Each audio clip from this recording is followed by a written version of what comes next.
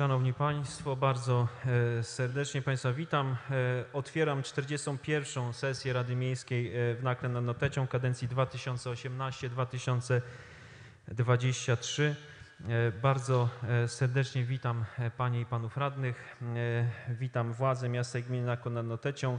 Jest z nami Pan Burmistrz Sławomir Napierała, jest Pan Zastępca Burmistrza Pan Piotr Kalamon. E, Witam serdecznie pana sekretarza, e, pana Krzysztofa Kopiszkę. E, Witam serdecznie dyrektorów wydziałów, jednostek organizacyjnych. Serdecznie witam radiosłuchaczy i wszystkie osoby, które oglądają nas za pośrednictwem mediów. Informuję Państwa, iż przebieg dzisiejszej sesji jest rejestrowany za pomocą urządzeń audiowizualnych w postaci nagrania dźwięku oraz obrazu. Szanowni Państwo, zaczniemy od potwierdzenia e, obecności na dzisiejszej sesji.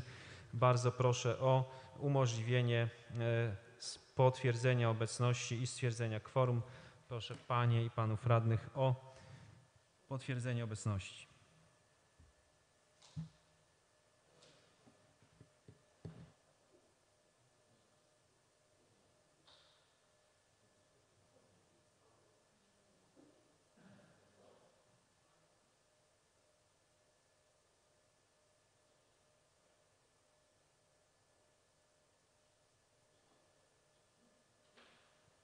Bardzo. E, Stwierdzam, że w dzisiejszej sesji bierze udział 21 radnych, co stanowi e, wymagane kworum. E, W związku z tym dzisiejsza sesja jest prawomocna i władna do podejmowania uchwał. Przechodzimy zatem do kolejnego punktu, a mianowicie przyjęcia porządku obrad. Ten porządek obrad został Państwu przesłany razem z materiałami sesyjnymi. Jeszcze przed sesją zgłaszał tutaj Pan Burmistrz mm, propozycję do e, dotyczącą dotyczącą zmiany porządku obrad. E, Bardzo proszę Panie Burmistrzu. Dziękuję bardzo. Panie Przewodniczący, Wysoka Rado, y, wnioskuję o wprowadzenie do porządku obrad następujących projektów uchwał. Jako punktu 4a projektu uchwały zmieniającej uchwałę w sprawie uchwalenia wieloletniej prognozy finansowej gminy Nakło nad Notecią.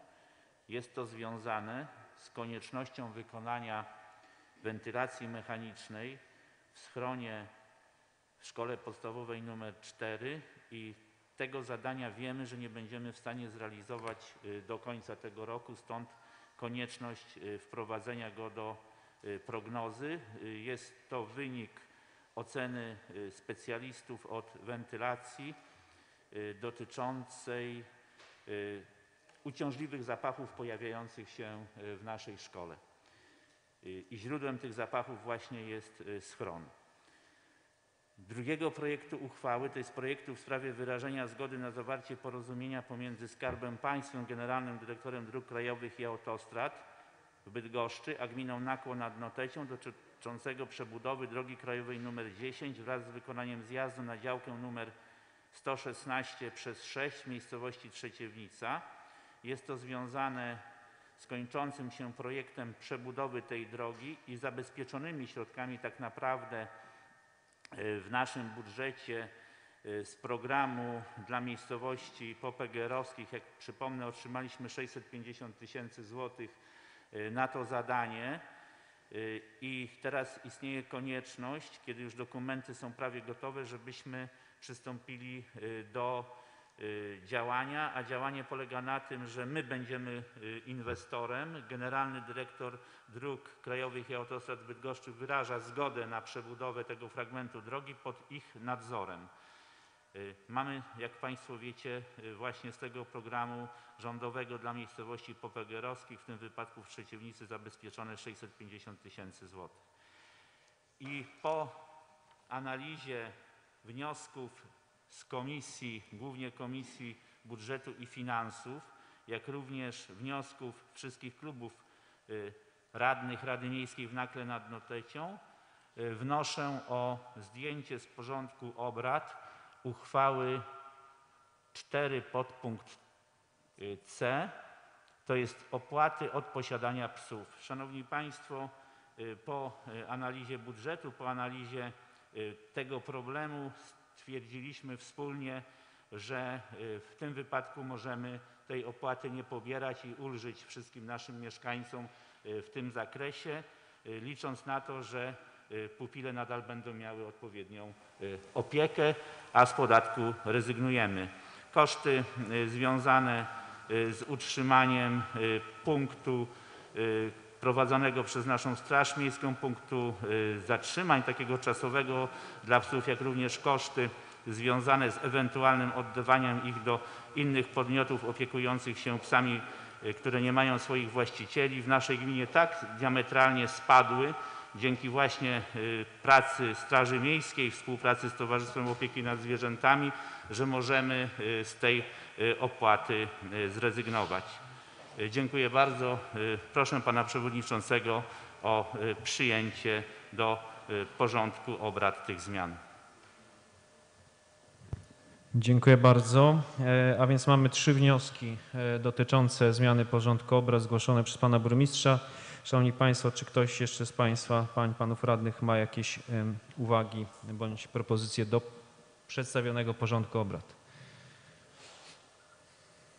Nie widzę, e, a więc e, mamy trzy wnioski. E, Nad każdym z tych wniosków będziemy głosować oddzielnie. I ostatnie, czwarte głosowanie będzie dotyczyło już przyjęcia porządku obrad. E, A więc pierwszy wniosek pana burmistrza dotyczył e, wprowadzenia do porządku obrad dzisiejszej sesji projektu uchwały zmieniającej uchwałę w sprawie uchwalenia wieloletniej prognozy finansowej gminy Nakło nad Notecią. E, Jeśli, e, Szanowni Państwo, e, zdecydujecie na, czy zdecydujemy jako Rada na wprowadzenie tego e, projektu do porządku obrad, to proponuję, aby go wprowadzić jako e, punkt 4a. E, Bardzo proszę o umożliwienie głosowania. Kto z pań, panów radnych jest za przyjęciem tego wniosku dotyczący wprowadzenia tego projektu uchwały do porządku?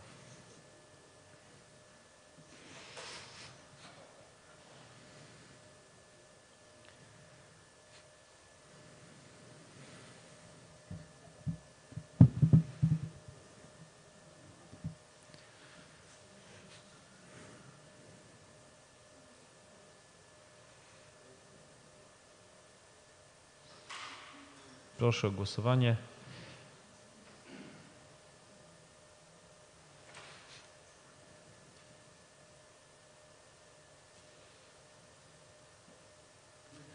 Czy można prosić o, o pomoc, bo jest problem techniczny?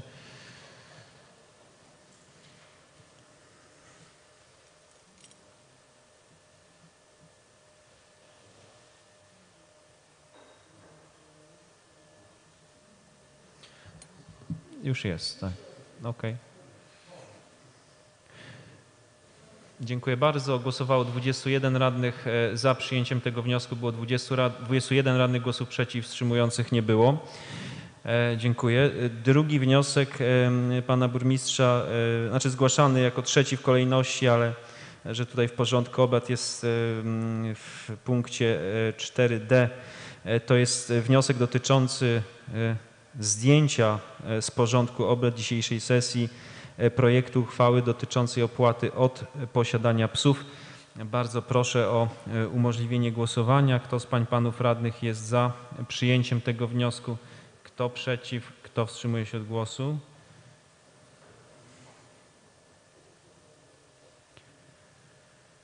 Dziękuję bardzo. Głosowało 21 radnych za przyjęciem wniosku, było 21 radnych głosów przeciw, wstrzymujących e, nie było. E, I trzeci wniosek dotyczył wprowadzenia do porządku obrad dzisiejszej sesji projektu uchwały w sprawie wyrażenia zgody na zawarcie porozumienia pomiędzy Skarbem Państwa, Generalnym Dyrektorem Dróg Krajowych i Autostrad, a gminą Nakło nad Notecią dotyczącego przebudowy drogi krajowej nr 10 wraz z wykonaniem zjazdu na działkę numer ewidencyjny 116 na 6 w miejscowości e, Trzeciewnica.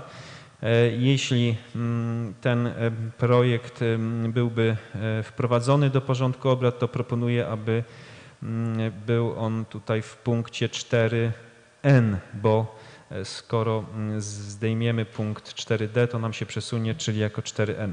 Bardzo proszę o umożliwienie głosowania. Kto z pań, panów radnych jest za przyjęciem tego wniosku? Kto przeciw? Kto wstrzymuje się od głosu?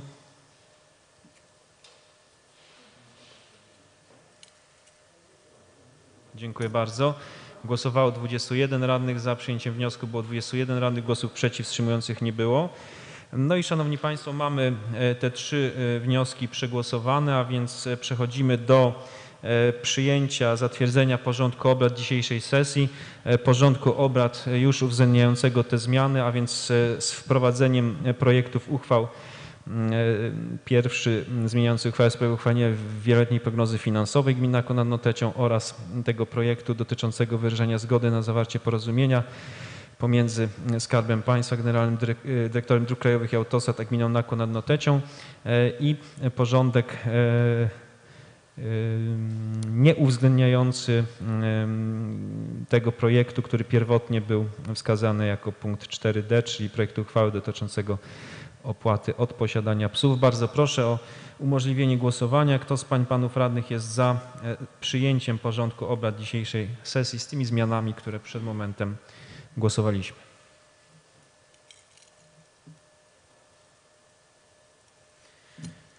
Dziękuję bardzo. Głosowało 21 radnych. Za przyjęciem porządku obrad było 21 radnych. Głosów przeciw, wstrzymujących nie było. E, Stwierdzam, że porządek obrad dzisiejszej sesji został e, przyjęty. E, Dziękuję bardzo. E, Przechodzimy do e, punktu kolejnego. To jest punkt drugi, a mianowicie przyjęcie protokołu z 40. sesji Rady Miejskiej w Nakle nad Notecią. Szanowni Państwo, ten protokół został sporządzony, przesłany Państwu w wersji elektronicznej oraz wyłożony w Biurze Rady Miejskiej. Nie wniesiono do tego protokołu uwag, a więc bardzo proszę o umożliwienie głosowania e, nad przyjęciem protokołu z 40. sesji Rady Miejskiej w Nakle Notecią. Kto z pań panów radnych jest za przyjęciem tego protokołu? Kto przeciw? Kto wstrzymuje się od głosu?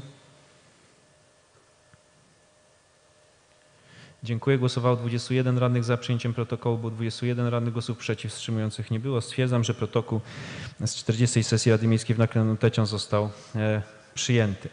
Przechodzimy dalej. Punkt trzeci to jest sprawozdanie burmistrza z działalności w okresie międzysesyjnym, w tym z wykonania uchwał Rady Miejskiej w Nakle nad Notecią.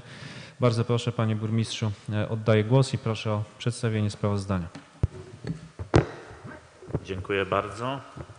Panie Przewodniczący, Wysoka Rado, Szanowni radiosłuchacze Radia Nakło, Szanowni goście zgromadzeni przed środkami y, przekazu. Informuję, że uchwały podjęte na 40. sesji w dniu 30 września są w trakcie realizacji, a moje sprawozdanie będzie dotyczyło okresu od 30 września do 28 października 2021 roku.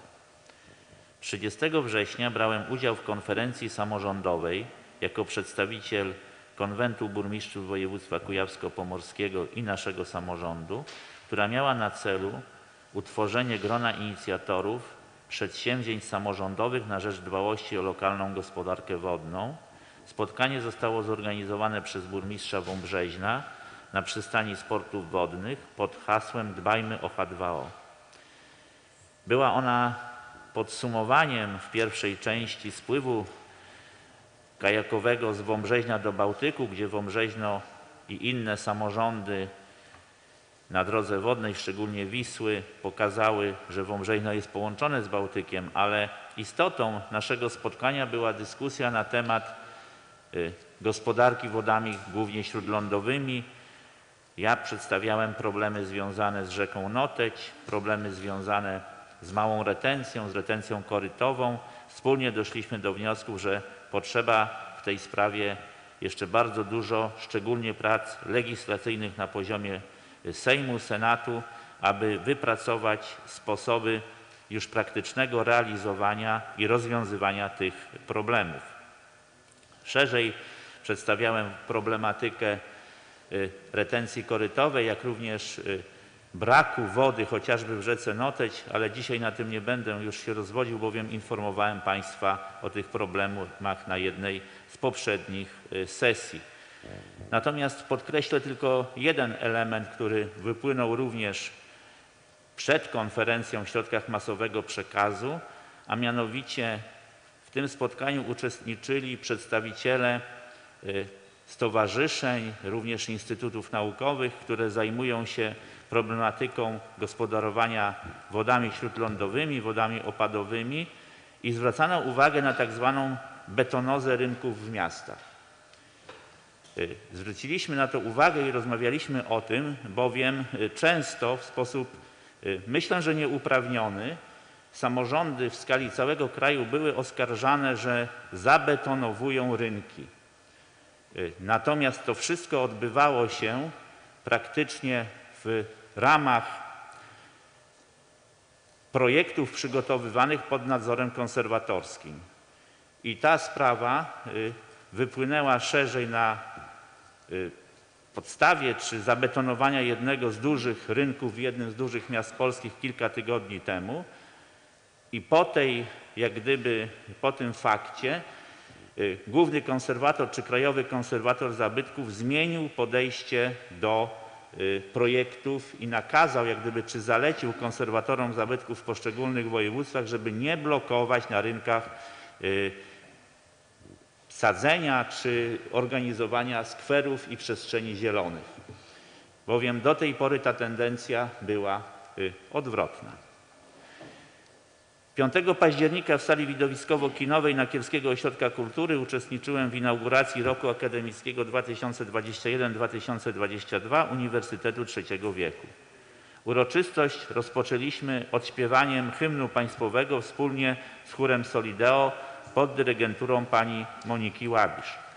W uroczystości uczestniczyli pan przewodniczący Rady Miejskiej Paweł Wiśniewski, był również pan sekretarz Krzysztof Kopiszka, pani Zofia y, Kała-Maja, przewodnicząca Rady Słuchaczy Politechniki Trzeciego Wieku przy Politechnice Bydgoskiej, bowiem z tą Politechniką, z tą y, y, współpracujemy jako UTW, pan Michał Dubkowski, dyrektor Nakielskiego Ośrodka Kultury, pan y, doktor habilitowany Tadeusz Barczak, który y, wygłosił okolicznościowy wykład, profesor Politechniki Bydgoskiej imieniem Jana Indrzeja Śniadeckich. Złożyłem życzenia na ręce pani Jadwigi Cyganek i pani Barbary Kunet, przedstawicieli naszych y, emerytów. 5 października uczestniczyłem w seminarium organizowanym przez Kujawsko-Pomorskie Samorządowe Stowarzyszenie Salu Taris oraz Kolegium Jagiellońskie Toruńska Szkoła Wyższa w Toruniu. Seminarium poświęcone było prawno-organizacyjnym i praktycznym aspektom gospodarki odpadami jako ważnym obszarom aktywności samorządów lokalnych. Współcześnie proces gospodarowania odpadami stanowi bardzo poważny, coraz większy problem. Stąd podjęliśmy dyskusję w tym zakresie oraz staraliśmy wypracować się wnioski, które mogłyby prowadzić do optymalnych rozwiązań. Bardzo się cieszyliśmy, bowiem w seminarium brał udział wiceminister klimatu i środowiska pan Jacek Ozdoba, który odpowiada za legislację wszelkiego rodzaju aktów prawnych związanych z gospodarką odpadami w naszym kraju. Wspólnie ze mną z ramienia gminy uczestniczyli zastępca pan Piotr Kalamon oraz dyrektor Wydziału Gospodarki Komunalnej i Ochrony Środowiska pani Anna Nowak. Szanowni Państwo, dodam tutaj dwa zdania, y, że następują kolejne zmiany legislacyjne w zakresie gospodarki odpadami. Niektóre już weszły w życie. Y, Wszedł w życie nowy wzór liczenia poziomów recyklingu.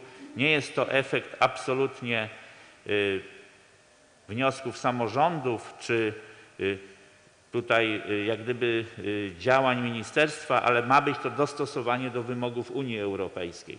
Te poziomy recyklingu musimy uzyskiwać coraz wyższe.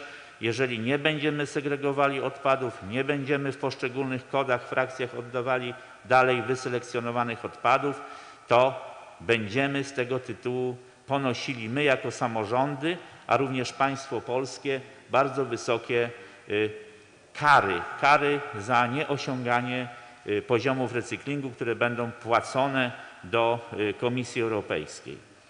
W związku z powyższym zwracaliśmy uwagę na narastający ten problem. Problem nie dotyczy tylko naszej gminy. Pomimo, że mieszkańcy segregują odpady, pomimo, że wysegregowujemy coraz więcej frakcji, czy to y, tworzyw sztucznych z metalem, czy to papieru, czy to szkła, to wcale to nie oznacza, że koszty zagospodarowania i koszty funkcjonowania systemów gospodarki odpadami w gminach maleją, a wręcz przeciwnie, one rosną. Jesteśmy zaskakiwani poprzez recyklerów coraz wyższymi y, kosztami oddawania tych odpadów do dalszego przetwórstwa. Te wszystkie problemy przedstawialiśmy panu ministrowi.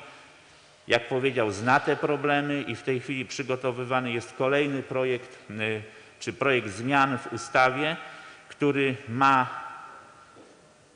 my mówimy jako samorządowcy w końcu, y, narzucić obowiązek opłaty tak zwanej opakowaniowej na producentów, czyli producenci będą płacili od każdego kilograma opłatę do budżetu państwa, a z tej opłaty mają być finansowane y, w części systemy zagospodarowywania odpadów w poszczególnych samorządach.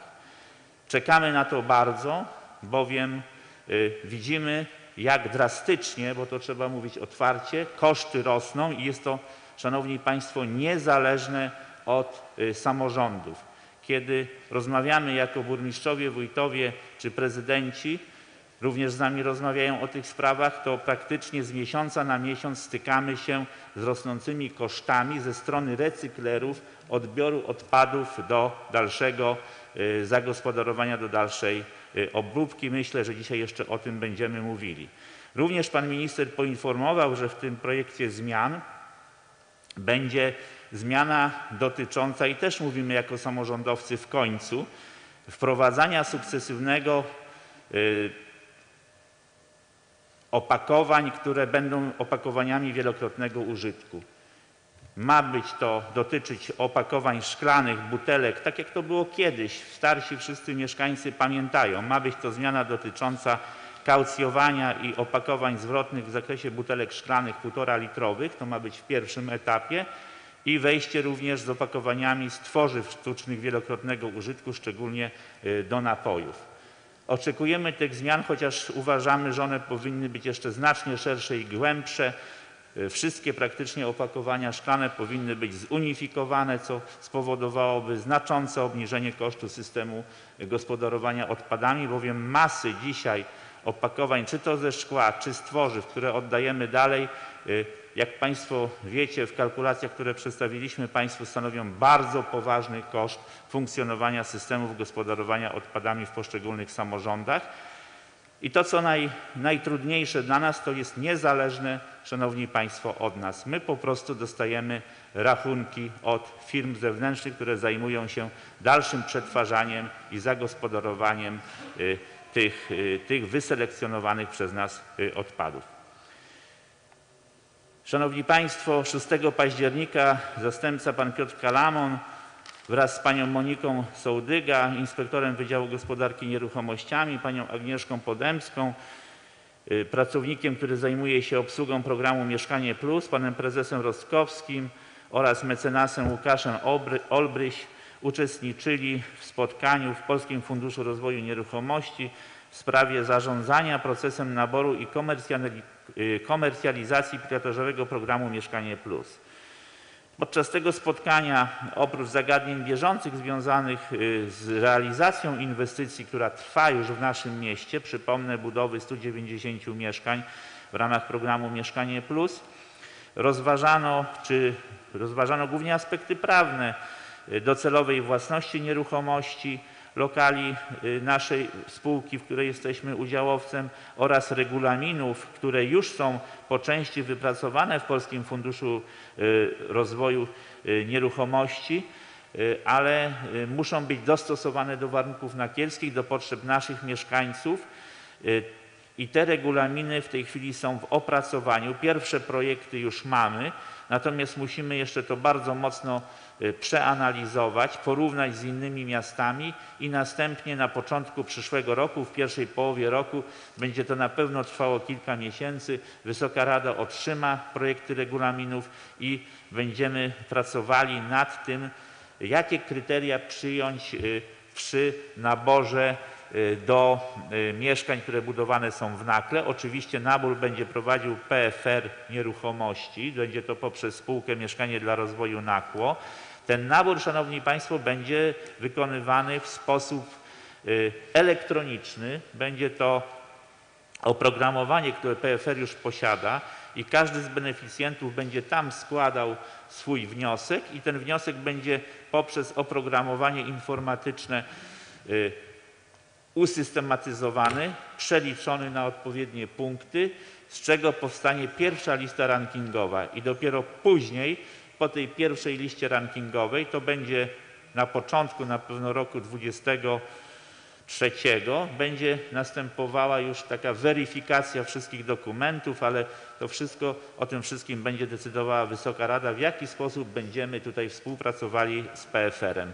Tak, żebyśmy na, na połowę 2023 roku mogli y, przedstawić już y, czy przekazywać po wybudowaniu y, tych bloków lokale poszczególnym najemcom. Ze strony PFR-u Nieruchomości w spotkaniu uczestniczyli pana, pani Anna Błaszczyk, dyrektor pionu administracyjno-prawnego, pan Rafael Lejto, dyrektor projektu w biurze najmu oraz pani Ewa Gałązka, dyrektor inwestycyjny i pan Szymon Ziemski, dyrektor inwestycyjny. Przypomnę, że pani Ewa Gałązka i pan Szymon Ziemski są bezpośrednimi y, nadzorującymi ze strony y, PFR-u nasz y, projekt. W dniach 6 i 7 października uczestniczyłem w 19. Samorządowym Forum Kapitału i Finansów w Międzynarodowym Centrum Kongresowym w Katowicach. Podczas tego forum odebrałem wraz z 18, a właściwie 19 innymi miastami wyróżnienie samorządowego lidera programu Mieszkanie Plus 2021. Chciałbym tutaj podkreślić, że y, zostaliśmy wyróżnieni obok takich miast jak Kraków, Katowice. W ogóle Katowice jest liderem liderów tego programu.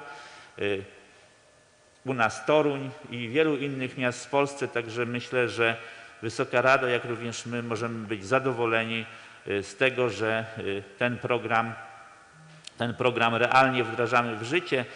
To, co podkreślił redaktor naczelny czasopisma Wspólnota, która zajmowała się całym y, opracowaniem z Polskim Funduszem Rozwoju Nieruchomości wyników tego rankingu, to to, że program Mieszkanie Plus w warunkach, w których my go realizujemy jest programem bardzo realnym, bardzo oczekiwanym, a jednocześnie to, co niejednokrotnie, niejednokrotnie również y, tutaj mówiliśmy, ja mówiłem, jest programem absolutnie niezaburzającym y, rynku y, budowy mieszkań przez inwestorów, y, których nazywamy deweloperami. Ten program jest uzupełnieniem y, oferty i było to bardzo mocno podkreślane podczas y, kongresu. Również podczas tego kongresu były poruszane sprawy związane z organizacją pracy urzędów, nowymi y, kwestiami związanymi z prawem, obowiązkami, które y, są nakładane poprzez ustawodawcę na y, administrację samorządową, warunkami czy kwestiami związanymi z zarządzaniem kryzysowym, z kwestiami or- organizowania sztabów kryzysowych, och- ochrony przeciwpożarowej, jak również kwestie związane z gospodarką wodną, kanalizacyjną. Stąd również y, uczestniczyli w tym spotkaniu y, nasi y, przedstawiciele odpowiedzialni za poszczególne działy w naszej gminie. Szanowni Państwo, 8 października na zaproszenie dyrektora Kujawsko-Pomorskiego Ośrodka Doradztwa Rolniczego w Minikowie pan Jarosław Warmke uczestniczył w finale wojewódzkim 31. Olimpiady Wiedzy Rolniczej. Impreza, spotkanie odbyło się w Centrum Transferu Wiedzy i Innowacji imieniem Leona Janty Połczyńskiego w Minikowie. Olimpiada przeznaczona dla rolników w wieku od 18 do 40 lat, w której to biorą udział właściciele gospodarstw oraz osoby gospodarujące z rodzicami, posiadający grunty rolne na terenie naszego województwa. 12 października podczas uroczystej gali Międzynarodowego Kongresu Ochrony Środowiska Enwikon w Poznaniu pan Piotr Kalamon odebrał Puchar Recyklingu Ministra Klimatu i Środowiska za zaangażowanie w zakresie gospodarki odpadami. W imieniu ministra klimatu pana Michała Kurtyki nagrodę wręczył dyrektor biura ministra pan Przemysław Bednarski wraz z prezesem zarządu ABRY z panią Magdaleną Dudką. O przyznaniu nagrody zadecydowała innymi innowacyjność systemu osiedlowych punktów selektywnego zbierania odpadów komunalnych w naszym mieście opierających się na drobiazgowej selekcji odpadów, zanim zostaną one właśnie, zanim zostaną one przekazane do dalszego przetwarzania i tutaj jest ta informacja zła, bowiem my, my przekazujemy dalej odpady wyselekcjonowane, a recyklerzy często te frakcje, które my wyselekcjonujemy, mieszają. Ale szanowni państwo, trzeba o tym mówić. My musimy to robić, bowiem recyklerzy zostaną zmuszeni do tego, żeby te odpady inaczej zagospodarowywać później. Jeśli tego nie będziemy robili tak jak do tej pory, to możemy tylko w przyszłości mieć y, kłopoty. Czyli myślę, że ten system, który został nagrodzony i który y, funkcjonuje w naszym mieście, y, on jest systemem dobrym, a jak niektórzy mówią, czy pan minister, bardzo dobrym, jest systemem wyróżniającym się, możemy powiedzieć, pewnym wyjątkowym, ale to nie znaczy, i o tym też trzeba otwarcie mówić, że najtańszym. Natomiast jest systemem, który w świetle tego, co organizują inne gminy, w jaki sposób samorządy sobie radzą z odpadami, to my, Szanowni Państwo, zawsze w kosztach mieścimy się na takim poziomie y, jak w innych y, samorządach, a mamy pełną kontrolę nad naszym y, systemem.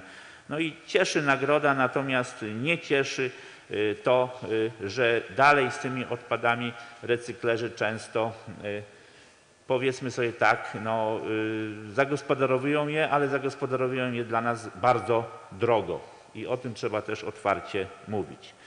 13-14 października odbyło się 13 kolejne forum Smart City w Warszawie jako kongres poświęcony funkcjonowaniu i rozwojowi miast, które wprowadzają na swoim terenie tak zwane inteligentne rozwiązania. Szanowni Państwo, w tej konferencji uczestniczył pan y, Piotr Kalamon wraz z panią dyrektor Nowak, wraz y, z inspektorem Wydziału Ochrony Środowiska, panią Anną Oleś, panią Justyną Szlachetką, panem Szymonem Nieczewskim. To jest osobami, które zajmują się, zajmowały i zajmują się u nas wdrażaniem i realizacją programu Human Smart City, bo chcę Państwu przypomnieć, że cały czas ten program na terenie naszej gminy jest w realizacji i jeszcze będzie, bowiem pandemia niestety, ale powoduje, że musimy i ministerstwo na to wyraża zgodę, bo to dotyczy wszystkich samorządów w kraju uczestniczących w programie, przedłużać termin realizacji poszczególnych elementów programu i tak też się stało teraz, chociażby Państwo zauważyliście, że na, nawet takie elementy jak popularyzacja roweru miejskiego w naszym mieście, y, popularyzacja pewnych rozwiązań, które y, wykonuje dla nas partner, jakim jest Towarzystwo Przyjaciół Nakła, musi być przesuwane w czasie z różnych względów y, związanych y, z funkcjonowaniem y, nas wszystkich y, w dobie y, pandemii. 15 października uczestniczyłem w uroczystości związanej z 20. rocznicą nadania Szkole Podstawowej nr 2 imieniem kardynała Wyszyńskiego, prymasa tysiąclecia oraz beatyfikację patrona szkoły. Uroczystość rozpoczęła się mszą świętą w kościele pod wezwaniem świętego Stanisława biskupa i męczennika w Nakle pod przewodnictwem księdza biskupa Krzysztofa Włodarczyka. Następnie uczestniczyliśmy na terenie szkoły w odsłonięciu pamiątkowej tablicy oraz y, ceremonii y, w auli szkoły podstawowej nr 2, bardzo ciekawym występie y, dzieci ze szkoły, który miał na celu przybliżyć postać y, kardynała Stefana Wyszyńskiego, prymasa tysiąclecia. 15 października uczestniczyliśmy w świętowaniu Dnia Edukacji Narodowej, tutaj w Nakielskim Ośrodku Kultury. Uroczystość miała miejsce w sali konferencyjnej, y, przepraszam, w sali kinowej, gdzie zebrali się nasi emerytowani nauczyciele, pracownicy administracji i obsługi oraz nauczyciele, dyrektorzy szkół, przedszkoli y, z terenu naszej gminy.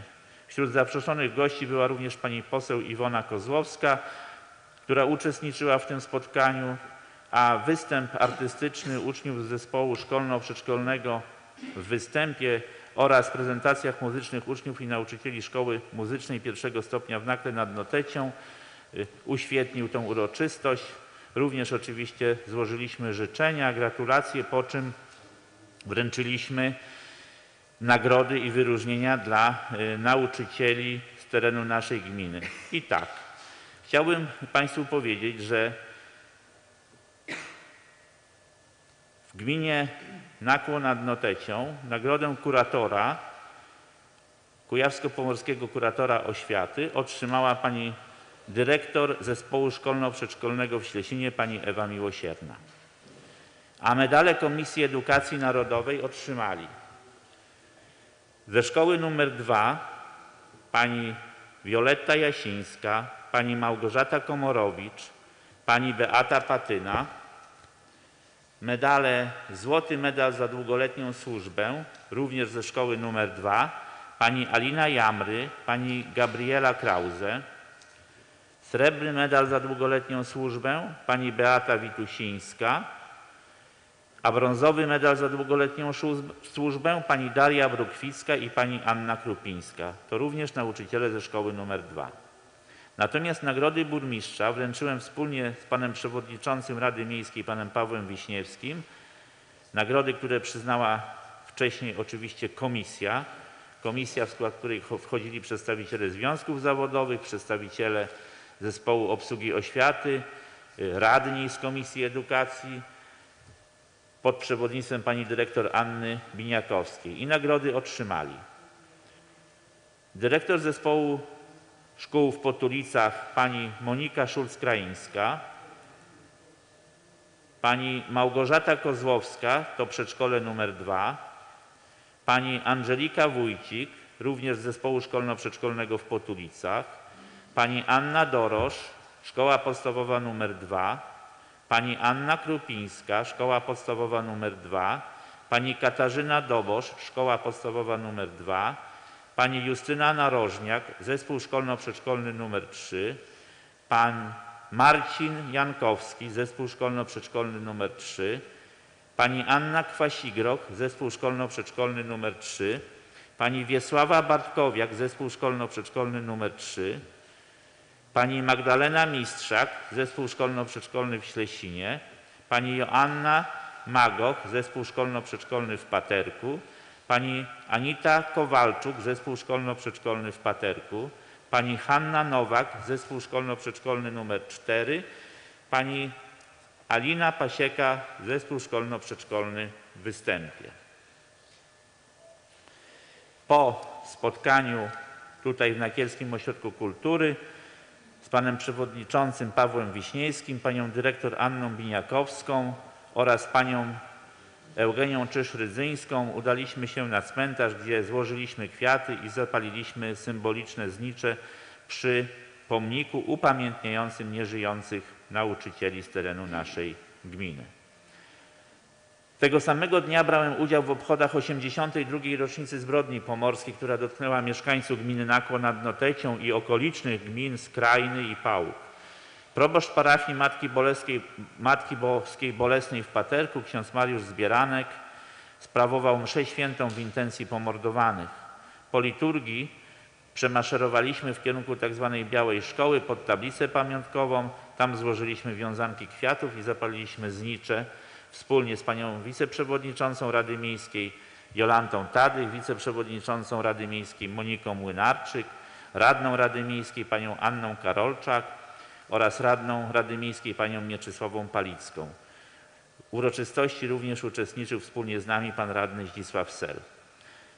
Szanowni Państwo, było to miejsce, o czym trzeba przypominać, w którym przetrzymywano i katowano ofiary, a ostatnim etapem tego spotkania, tego marszu był Marsz Milczenia. Spod szkoły w Paterku, starej szkoły tak zwanej białej, przeszliśmy w milczeniu pod osłoną nocy na żwirowisko, gdzie spoczywa ponad 200 pomordowanych naszych rodaków. Na tablicy jest ponad 250 nazwisk. Przedstawiciele rodzin pomordowanych w 1939 roku naszych mieszkańców zasadzili 14 drzewek pamięci, a następnie w tym miejscu również w milczeniu złożyliśmy wiązanki kwiatów, zapaliliśmy znicze, oddając tym samym hołd pomordowanym. W tym miejscu chciałbym bardzo podziękować za przewodnictwo, wielkie zaangażowanie w organizację księdzu Mariuszowi Zbierankowi, który był mentorem tej uroczystości. Szanowni Państwo, 16 października w sali gimnastycznej Zespołu Szkół Żeglugi Śródlądowej w Nakle rozegrany został 22 turniej piłki siatkowej nauczycieli imieniem Lucjana Dąbka z okazji Dnia Edukacji Narodowej. W spotkaniu wzięły udział cztery zespoły, to jest ZSP 3 Nakło, ZSP Staszic, była drużyna z Szubina i drużyna ze Szkoły Żeglugi Śródlądowej. Oficjalnego otwarcia dokonali przewodniczący Komisji Edukacji, Kultury, Sportu, Zdrowia, Polityki Społecznej i Porządku Publicznego pan Jan Grabarski oraz dyrektor Zespołu Szkół Żeglugi Śródlądowej w Nakle pan Kazimierz Toczko. Po oficjalnym otwarciu pan przewodniczący Grabarski w towarzystwie pani Anny Dąbek, żony patrona naszego turnieja, turnieju udali się na grób zmarłego Lucjana Dąbka, by złożyć okolicznościowe kwiaty i zapalić znicz. Klasyfikacja. Pierwsze miejsce ZSP 3, drugie miejsce Szubin, trzecie miejsce Szkoła y, imieniem Stanisława Staszica i czwarte Zespół Szkół Żeglugi Śródlądowej. Wszystkie drużyny otrzymały pamiątkowe puchary, dyplomy oraz nagrody w postaci piłek do siatkówki. Szanowni Państwo, nagrody wręczali pani Anna Dąbek, pan Jan Grabarski i pan Kazimierz Toczko oraz członek Rady Nadzorczej Spółki Nakielski Sport pan Marcin Wybrański. W dniach 16 i 17 października w Nakielskim Ośrodku Kultury odbył się trzeci Nakielski Festiwal Szachowy. W ramach tej imprezy przeprowadzone zostały 74. otwarte indywidualne Mistrzostwa Województwa Kujawsko-Pomorskiego w szachach klasycznych obejmujące turniej Open A oraz Open B. Ponadto przeprowadzony został turniej Open C, szansa na kategorię dający szansę zawodnikom, amatorom zdobycia swoich pierwszych kategorii szachowych. W tym turnieju rywalizowało 122 zawodników, głównie z województwa kujawsko-pomorskiego. W turnieju Open A wzięło udział 22 szachistów posiadających co najmniej drugą kategorię szachową lub wyższą, którzy rywalizowali na dystansie 5 rund systemem szwajcarskim z czasem 90 minut na partię dla zawodnika. W, drugim, w drugiej części, czy w turnieju Open B wzięło udział 50 zawodników posiadających maksymalnie drugą kategorię szachową. To dystans 7 rund z czasem 60 minut na partię dla zawodnika. A 50 zawodników zmierzyło się w turnieju Open C, szansa na kategorię, którzy grali systemem szwajcarskim w dystansie 7 rund z czasem 30 minut na partię dla zawodnika. Najlepsi zawodnicy z każdej kategorii zostali nagrodzeni pucharami, dyplomami oraz nagrodami rzeczowymi. Y, Uczestniczyłem w tym turnieju y, podczas jego trwania. Odbyliśmy rozmowę z panem y, prezesem Jarosławem Wiśniewskim, któremu należy się, należą się wyrazy podziękowania naszemu mieszkańcowi, który jest prezesem Kujawsko-Pomorskiego Związku Szachowego za organizację turnieju i lokowanie tego turnieju w naszym mieście, co jest również promocją i prestiżem dla nas. Pan prezes wspólnie z sędzią głównym, panem Mikołajem Włochem oraz panią Kamilą Urbańską, przewodniczącą Komisji Rewizyjnej Kujawsko-Pomorskiego Związku Szachowego, wręczyli na zakończenie turnieju wszystkim zwycięzcom nagrody. Z naszej strony współorganizatorem turnieju była spółka Nakielski Sport. 19 października w sali widowiskowo-kinowej naszego Ośrodka Kultury spotkali się słuchacze Uniwersytetu Trzeciego Wieku na drugim wykładzie roku akademickiego 2021-2022. Uczestniczyłem w tym spotkaniu i miałem okazję wygłosić wykład pod hasłem Miasto i, Nakło nad. Miasto i gmina Nakło nad Notecią na przestrzeni ostatnich lat. Przedstawiłem realizację naszych inwestycji, problemów, z którymi się stykamy, stykamy na każdym kroku w naszej pracy. Y, Pokazaliśmy, jak rozwija się gmina, jakie mamy również plany na najbliższe miesiące czy lata w zakresie inwestycyjnym na terenie naszego miasta i naszej gminy. Była to również okazja, aby pokazać szereg wyróżnień, nagród, jakie nasza gmina czyli nasz samorząd, my wszyscy tak naprawdę, pracownicy, Wysoka Rada, nasi mieszkańcy, wszystkie stowarzyszenia, które w tym y, procesie uczestniczą, to bardzo dużo nagród i wyróżnień, które otrzymujemy y, na, możemy powiedzieć, na arenie y, najbardziej prestiżowych spotkań w naszym kraju. 22 października pan Krzysztof Błoński uczestniczył w walnym zebraniu członków Stowarzyszenia Droga Ekspresowa S10. Podczas spotkania przedstawiono informacje na temat prac związanych z przygotowaniem i budową drogi ekspresowej na odcinkach przebiegających przez poszczególne województwa. Celem działania stowarzyszenia jest koordynowanie i wspieranie współpracy na rzecz budowy drogi, wykonywanie zadań określonych w podpisywanych przez stowarzyszenie umowach i porozumieniach, tak naprawdę lobbowaniu na rzecz jak najszybszego, najszybszej realizacji tego przedsięwzięcia. Y, My tutaj trzeba tą informację przypomnieć. Na terenie odcinka, którym my jesteśmy najbardziej zainteresowani, to jest Pawłówek y, Wyżysk. Prace trwają. Możemy powiedzieć, że y, studium techniczno-ekonomiczno-środowiskowe zostało już wcześniej przyjęte przez Generalną Dyrekcję Dróg Krajowych i Autostrad, a w tej chwili zgodnie z informacją, którą posiadam od dyrektora generalnego Dyrekcji Dróg i Autostrad w Warszawie, pana Tomasza Żuchowskiego i pana dyrektora Sebastiana Borowiaka z Bydgoszczy, y, są toczone czy trwają prace nad uzyskaniem decyzji środowiskowej na budowę tego ponad 40-kilometrowego odcinka z Pawłówka do Wyżyska.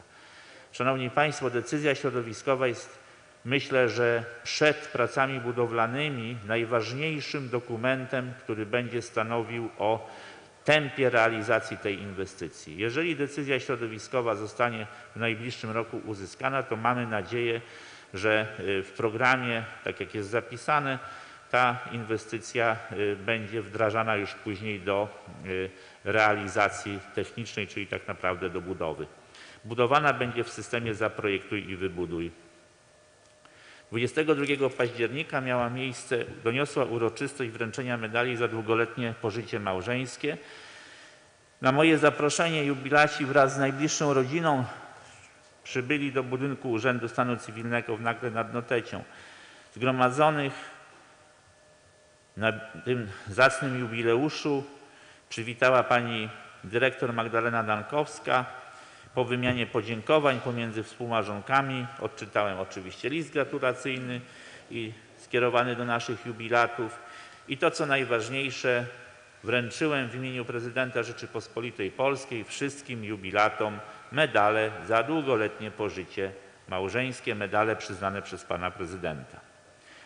Wręczyliśmy również kwiaty, a to, co było bardzo sympatyczne, to wspólnie członkami rodzin zaśpiewaliśmy jubilatom symboliczne 100 lat. Szanowni Państwo, jubileusze obchodzili. Państwo Maria i Stanisław Bratkowscy z Nakła, Państwo Irena i Marian Chruścińscy z Nakła, Państwo Zofia i Józef Furmaniak z Nakła, Państwo Elżbieta i Bolesław Kalisz z Nakła, Państwo Anna i Bogusław Lach ze Ślesina, Państwo Krystyna i Henryk Powalisz z Nakła.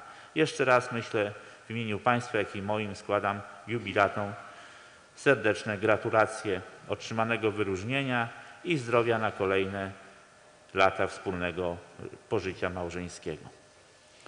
25 października na gali laureatów w Warszawie pani Patrycja Michalik otrzymała dwa złote bohater Ony, tak to się nazywa, od kapituły i od publiczności. Pani Patrycja Michalik jest nauczycielą, nauczycielką ze y, Szkoły Podstawowej nr 2 w Nakle nad Notecią. Nominacja za stworzenie i prowadzenie ogólnopolskiego projektu edukacyjnego Powstańcy 44 Pamiętamy skierowanego do młodzieży. Nauczycielka języka polskiego, inicjatorka projektu Powstańcy 44 Pamiętamy. Jego celem jest rozwijanie wiedzy historycznej dotyczącej powstania warszawskiego i rozbudzanie uczuć patriotycznych wśród- młodzieży. W pierwszej edycji projektu wzięło udział 135 nauczycieli z 68 szkół z całego kraju. A inicjatywa została objęta honorowym patronatem Muzeum II Wojny Światowej, Muzeum Powstania Warszawskiego, Towarzystwa Przyjaciół Warszawy oraz y, moim. Projekt opracowano w taki sposób, aby realizować podstawę programową i rozwijać kompetencje kluczowe burmistrzów, y, uczniów, przepraszam, opierając się na, na kontekście historycznym z wykorzystaniem nowoczesnych metod nauczania. Pozwolił ten projekt młodzieży poznać przebieg powstania z punktu widzenia powstańców, cywili i dzieci, zrozumieć okupacyjną co- codzienność oraz nauczyć się rozpoznawać symbole związane z powstaniem. Nastolatkowie pod czujnym okiem pedagogów mieli okazję poznać twórczość Krzysztofa Kamila Baczyńskiego, Anny Świerszczyńskiej, również podążali ulicami wojennej Warszawy z narratorem pamiętnika z Powstania Warszawskiego. Starali się zrozumieć cierpienie wynikające z utraty bliskiej osoby, czytając list do Krysi z Ziela na kraterze Melchiora Wańkowicza. Ze sprawozdań nadesłanych przez nauczycieli wynikało, że projekt cieszył się dużym zainteresowaniem wśród uczniów. Edycja na rok 21-22 została objęta honorowym patronatem Ministerstwa Edukacji i Nauki, Muzeum Powstania Warszawskiego, Muzeum II Wojny Światowej oraz Towarzystwa Przyjaciół Warszawy. 26 października na zaproszenie prezesa Zarządu Wojewódzkiego Funduszu Ochrony Środowiska i Gospodarki Wodnej w Toruniu pana Irenusza Stachowiaka pan Piotr Kalamon uczestniczył w uroczystym podsumowaniu i wręczeniu nagród dla laureatów i wyróżnionych w czwartej edycji konkursu dla gmin pod nazwą Eko Orły 2021, które odbyły się pod honorowym patronatem ministra klimatu i środowiska. Szanowni Państwo, jesteśmy miastem smogowym, póki co. Natomiast te wszystkie działania, które podejmujemy my jako samorząd, Rada Miejska, wydatkując środki na wsparcie dla realizacji ochrony powietrza w naszym mieście, wydając środki na wsparcie czy na realizację przedsięwzięć, które mają za zadanie ograniczyć emisję komunikacyjną w naszym mieście, uczestniczenie naszych mieszkańców w tych programach, y, jak y, dofinansowanie do wymiany kotłów, czy uczestnictwo naszych mieszkańców w programie Czyste Powietrze, powoduje, że dynamika działań została doceniona przez Wojewódzki Fundusz Ochrony Środowiska w Bydgoszczy, y, przepraszam, w Toruniu i z tego wynika, że z tej oceny, że ta dynamika u nas jest znacząca, że to się poprawia. Musimy mówić, że nie jest dobrze, bo nie jest. Jeszcze jest dużo do zrobienia. Jeszcze jest dużo do zrobienia w zakresie ochrony powietrza i powiemy tak, dopóty ostatni kopciuch będzie kopcił, nie będzie dobrze. Natomiast krok po kroku te działania podejmowane są. Nasi mieszkańcy uczestniczą aktywnie. Tylko z udziałem środków, które Państwo przeznaczyliście w tegorocznym budżecie, to mamy dwieście kilkadziesiąt mniej pieców, złych pieców, starych pieców na terenie naszego miasta i gminy. Tylko w jednym roku 2021. Bardzo dobrze sprawdził się pomysł Wysokiej Rady, który realizowaliśmy przez cały rok ciągłego naboru wniosków. Bardzo dobrze i myślę, że musimy zrobić wszystko, co tylko będzie możliwe, żebyśmy y, kontynuowali to w kolejnym roku.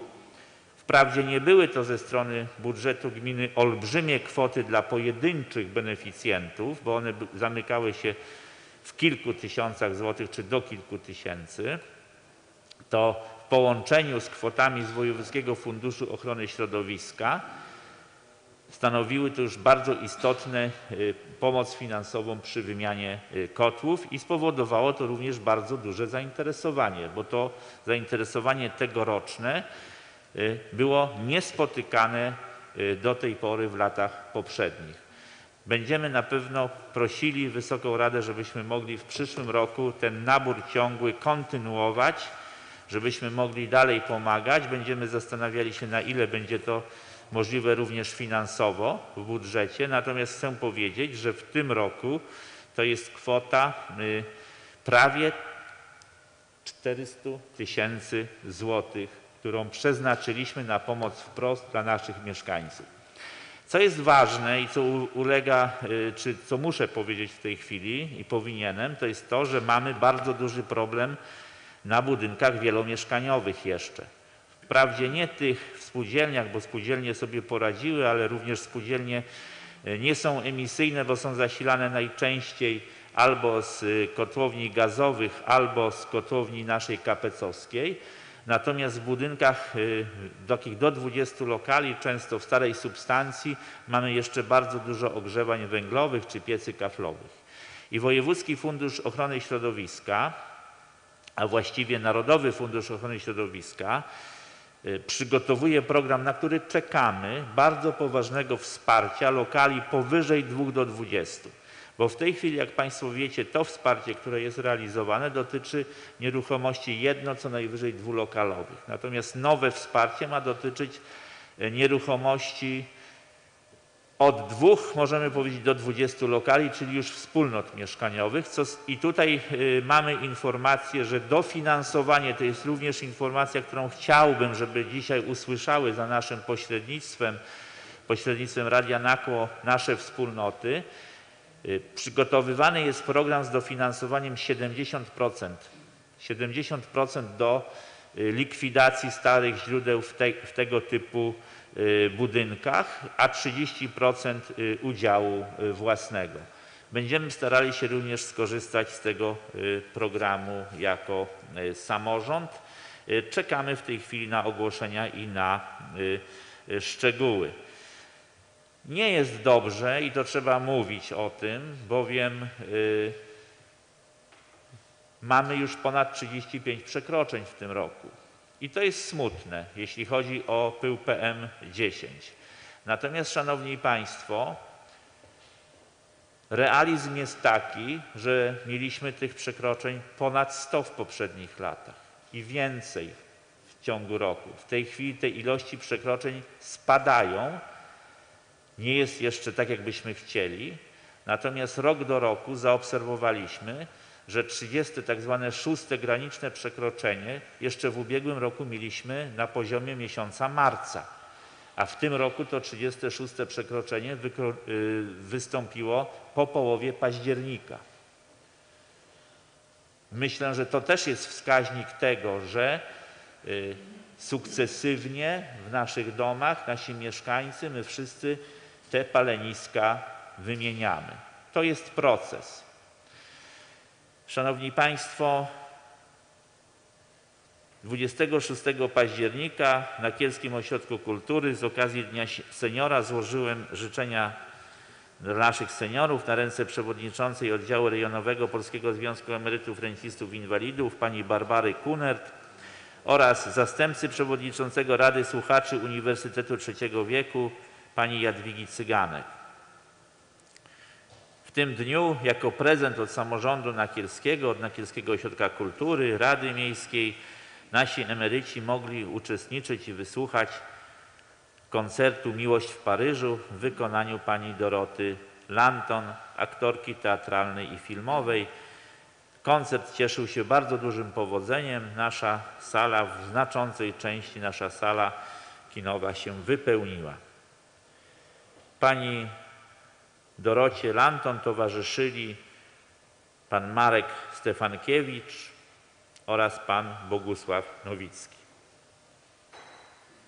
27 października pan Krzysztof Błoński oraz pan Paweł Malagowski uczestniczyli w konferencji otwierającej konsultacje społeczne programu Regionalne Fundusze Europejskie dla Kujaw i Pomorza na lata 2021-2027 w Urzędzie Marszałkowskim e, w Toruniu. Spotkanie otworzył pan marszałek Piotr Całbecki, po czym głos zabrali przedstawiciele Dyrekcji Generalnej do Spraw Polityki Regionalnej i Miejskiej, przedstawiciel Dyrekcji Generalnej do Spraw Zatrudnienia, Spraw Społecznych i Włączenia Społecznego oraz przedstawiciel Ministerstwa Funduszy i Polityki Regionalnej. W kolejnym punkcie pan dyrektor Rafał Pietrucień, dyrektor Departamentu Funduszy Europejskich naszego Urzędu Marszałkowskiego, przedstawił prezentację programu Funduszy Europejskich dla Kujaw i Pomorza na lata 2021-2027. Natomiast pan Sławomir Franc przedstawił prezentację prognozy oceny oddziaływania na środowisko. O tych projektach, o tych prognozach, o programie będziemy z Wysoką Radą rozmawiali na kolejnych komisjach Rady Miejskiej, y, gdzie będziemy informowali Państwa, na co fundusze w Kujawsko-Pomorskim mają być w nowej perspektywie unijnej głównie przeznaczone. My możemy powiedzieć z naszej perspektywy zintegrowanych inwestycji województwa kujawsko-pomorskiego, o czym już Wysoką Radę informowałem, że głównie chcemy, aby te pieniądze, które w ZIT-ie będziemy mogli otrzymać, w ZIT-ie bydgoskim, były przeznaczone na ochronę środowiska, na organizację czy budowę kolejnych terenów zielonych w naszym mieście, nowego parku, jak również budowę ścieżek pieszo-rowerowych, które miałyby ograniczać niską emisję. W tym szczególnie planujemy i mamy wstępną zgodę, dlatego o tym mówię, chociaż to wszystko jest planistyka. Na realizację projektów, które już w tej chwili wykonujemy z pozwoleniem na budowę, tak oczekiwanych i przez Państwa wnioskowanych, przez wszystkich tutaj radnych obecnych na tej sali i nasze samorządy mieszkańców, to jest Nadnoteckiego Parku Rowerowego, tak to nazwę. Ten park rowerowy jest projektowany, ma być to 6 km ścieżek pieszo-rowerowych na lewą stronę od ulicy Noteckiej w kierunku występu wzdłuż kanału, po to, aby te tereny zrobić przynajmniej wstępnie rekreacyjne, bo oczywiście my nie jesteśmy właścicielami wszystkich tam terenów łąk, ale jesteśmy właścicielem chociażby traktów, czyli dróg tam. I możemy te drogi y, przybliżyć naszym mieszkańcom poprzez budowę ścieżek pieszo-rowerowych. Projekty będziemy mieli już gotowe, bowiem te projekty akurat są realizowane z pozwoleniem na budowę w ramach wspomnianego przeze mnie dzisiaj już wcześniej programu Human Smart City. To oczywiście są, to będzie trwało kilka lat. To nie jest y, coś, co się ziści w rok, ponieważ krok po kroku musimy dochodzić do pieniędzy w ZIT-ie. Chcę powiedzieć, że jeszcze nie ma tych pieniędzy. Nie ma jeszcze umowy między Komisją Europejską a naszym województwem, ale my już planujemy, jak to wykorzystać, żebyśmy później mogli sprawnie e, realizować te e, zadania, tym bardziej, że nowa perspektywa unijna, o czym trzeba dokładnie wiedzieć, wyklucza możliwość realizacji projektów w systemie zaprojektuj i wybuduj. Tylko i wyłącznie będzie można realizować projekty przygotowane, które samorządy będą miały z pozwoleniem na budowę. Szanowni Państwo, zgodnie z naszym statutem informuję o wszystkich ważniejszych sprawach w sprawie kadr.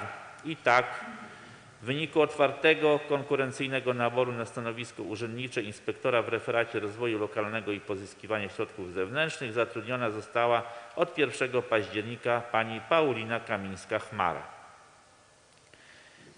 Przedstawiam sprawozdanie z działań podległych w zakresie zapobieganiu, przeciwdziałaniu i zwalczaniu choroby zakaźnej COVID-19 wywołanej wirusem.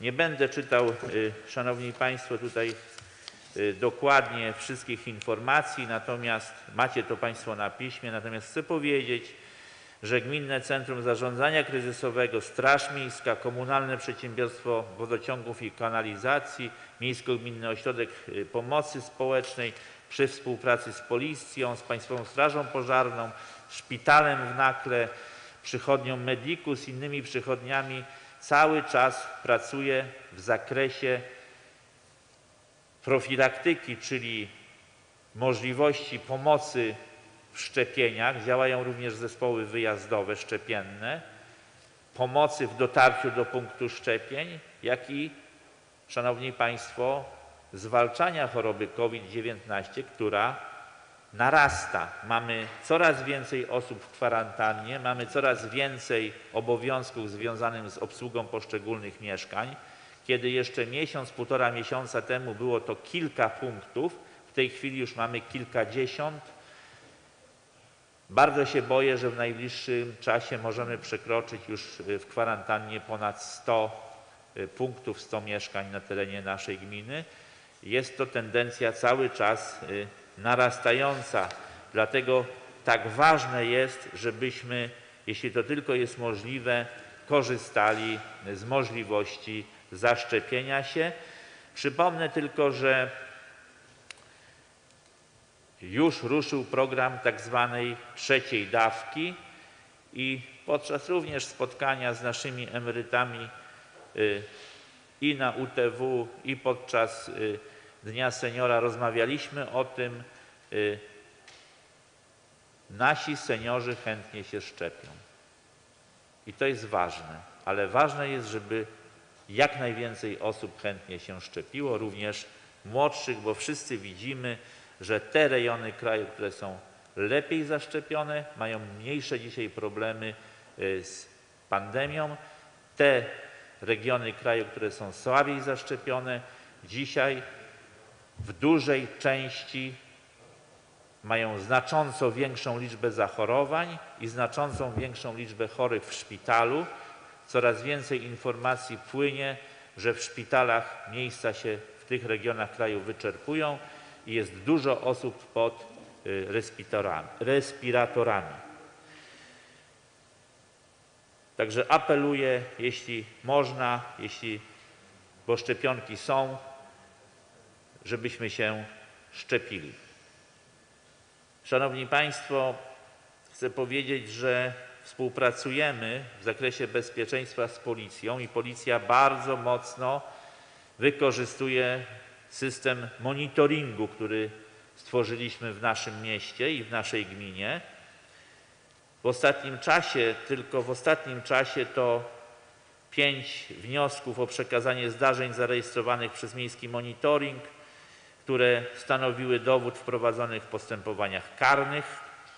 Ponadto w tym samym czasie policjanci często przeglądali w centrum monitoringu materiały zapisane na serwerze, które mają pomagać i pomagają ich w prowadzonych postępowaniach y, w, y, związanych z potencjalnymi przestępstwami. Jak również policja otrzymała nagrania, myślę, że malejącej liczby pojazdów, tym razem siedmiu ciężarowych, których kierowcy nie stosowali się do znaku drogowego B18 zakaz wjazdu pojazdów, których rzeczywista masa całkowita przekracza określoną na y, tarczy wartość, czyli w naszym wypadku ponad 7 ton. Szanowni Państwo, informacje z przeprowadzonych przetargów. 6 października została zawarta umowa w postępowaniu prowadzonym w trybie podstawowym bez negocjacji na pełnienie nadzoru inwestorskiego przy realizacji zadania budowa przeszkolnej infrastruktury sportowej w Występie. Wykonawcą usługi został Michał Leszczyński z siedzibą w Pigrzy. Cena umowna wynosi 27 060 zł brutto. W postępowaniu wpłynęły cztery oferty. Najtańsza na kwotę 12 300 zł brutto, najdroższa na kwotę 110 700 zł brutto. Najtańsza oferta została odrzucona w postępowaniu z uwagi na rażąco niską cenę. 12 października została zawarta umowa w trybie podstawowym bez negocjacji na realizację zadania budowa przyszkolnej infrastruktury sportowej w Występie, to jest kolejne zadanie. Wykonawcą prac został AB Faktor Andrzej Borowski z Bydgoszczy, który zaoferował cenę 1 634 172 zł 37 groszy brutto. Najdroższa oferta to 1 877 168 zł i 17 groszy brutto. Termin realizacji zamówienia wynosi 11 miesięcy. Szanowni Państwo, jest to zadanie realizowane y, z Funduszu Inwestycji Lokalnych, na które to otrzymaliśmy pieniądze za pośrednictwem wojewody kujawsko-pomorskiego, pana Mikołaja y, Bogdanowicza. Również 12 października została zawarta umowa w postępowaniu prowadzonym w trybie podstawowym bez negocjacji na realizację zadania inwestycyjnego modernizacja drogi dojazdowej do gruntów rolnych o nawierzchni bitumicznej realizowanej dwuwarstwowo składającej się z warstwy wiążącej i ścieralnej o minimalnej łącznej grubości 6 cm wykonanej na istniejącej podbudowie tłuczniowej do długości 1 km w obrębie geodezyjnym Suchary Część działki numer 71 przez 1. Wykonawcą zostało PHU Rafał Szymczak z Nakła z ceną 393 316 zł i 73 grosze brutto. Wpłynęło 5 ofert. Najtańsza na kwotę 393 316 zł 73 grosze brutto, czyli ta, która wygrała. I najdroższa na kwotę 574 234 zł i 87 groszy brutto. Termin realizacji to 50 dni od podpisania umowy. To zadanie jest dofinansowane kwotą prawie 100 tysięcy złotych z Funduszu Ochrony Gruntów Rolnych Województwa Kujawsko-Pomorskiego, Urząd Marszałkowski i tutaj y, realizujemy to właśnie z dofinansowaniem otrzymanym za pośrednictwem pana marszałka Piotra Całbeckiego. 14 października nastąpiło otwarcie ofert w przetargu nieograniczonym na realizację zadania inwestycyjnego. Przetarg nieograniczony na realizację zadania budowa stadionu lekkoatletycznego kategorii 4A w ramach przebudowy stadionu miejskiego w Nakle nad Notecią. W postępowaniu złożone zostały dwie oferty. Pierwsza to 12 milionów 833 254 zł i 25 groszy brutto. Druga to 13 milionów 830 120 zł brutto. Obecnie trwa weryfikacja ofert. Szanowni Państwo, y, dokumenty są w ocenie.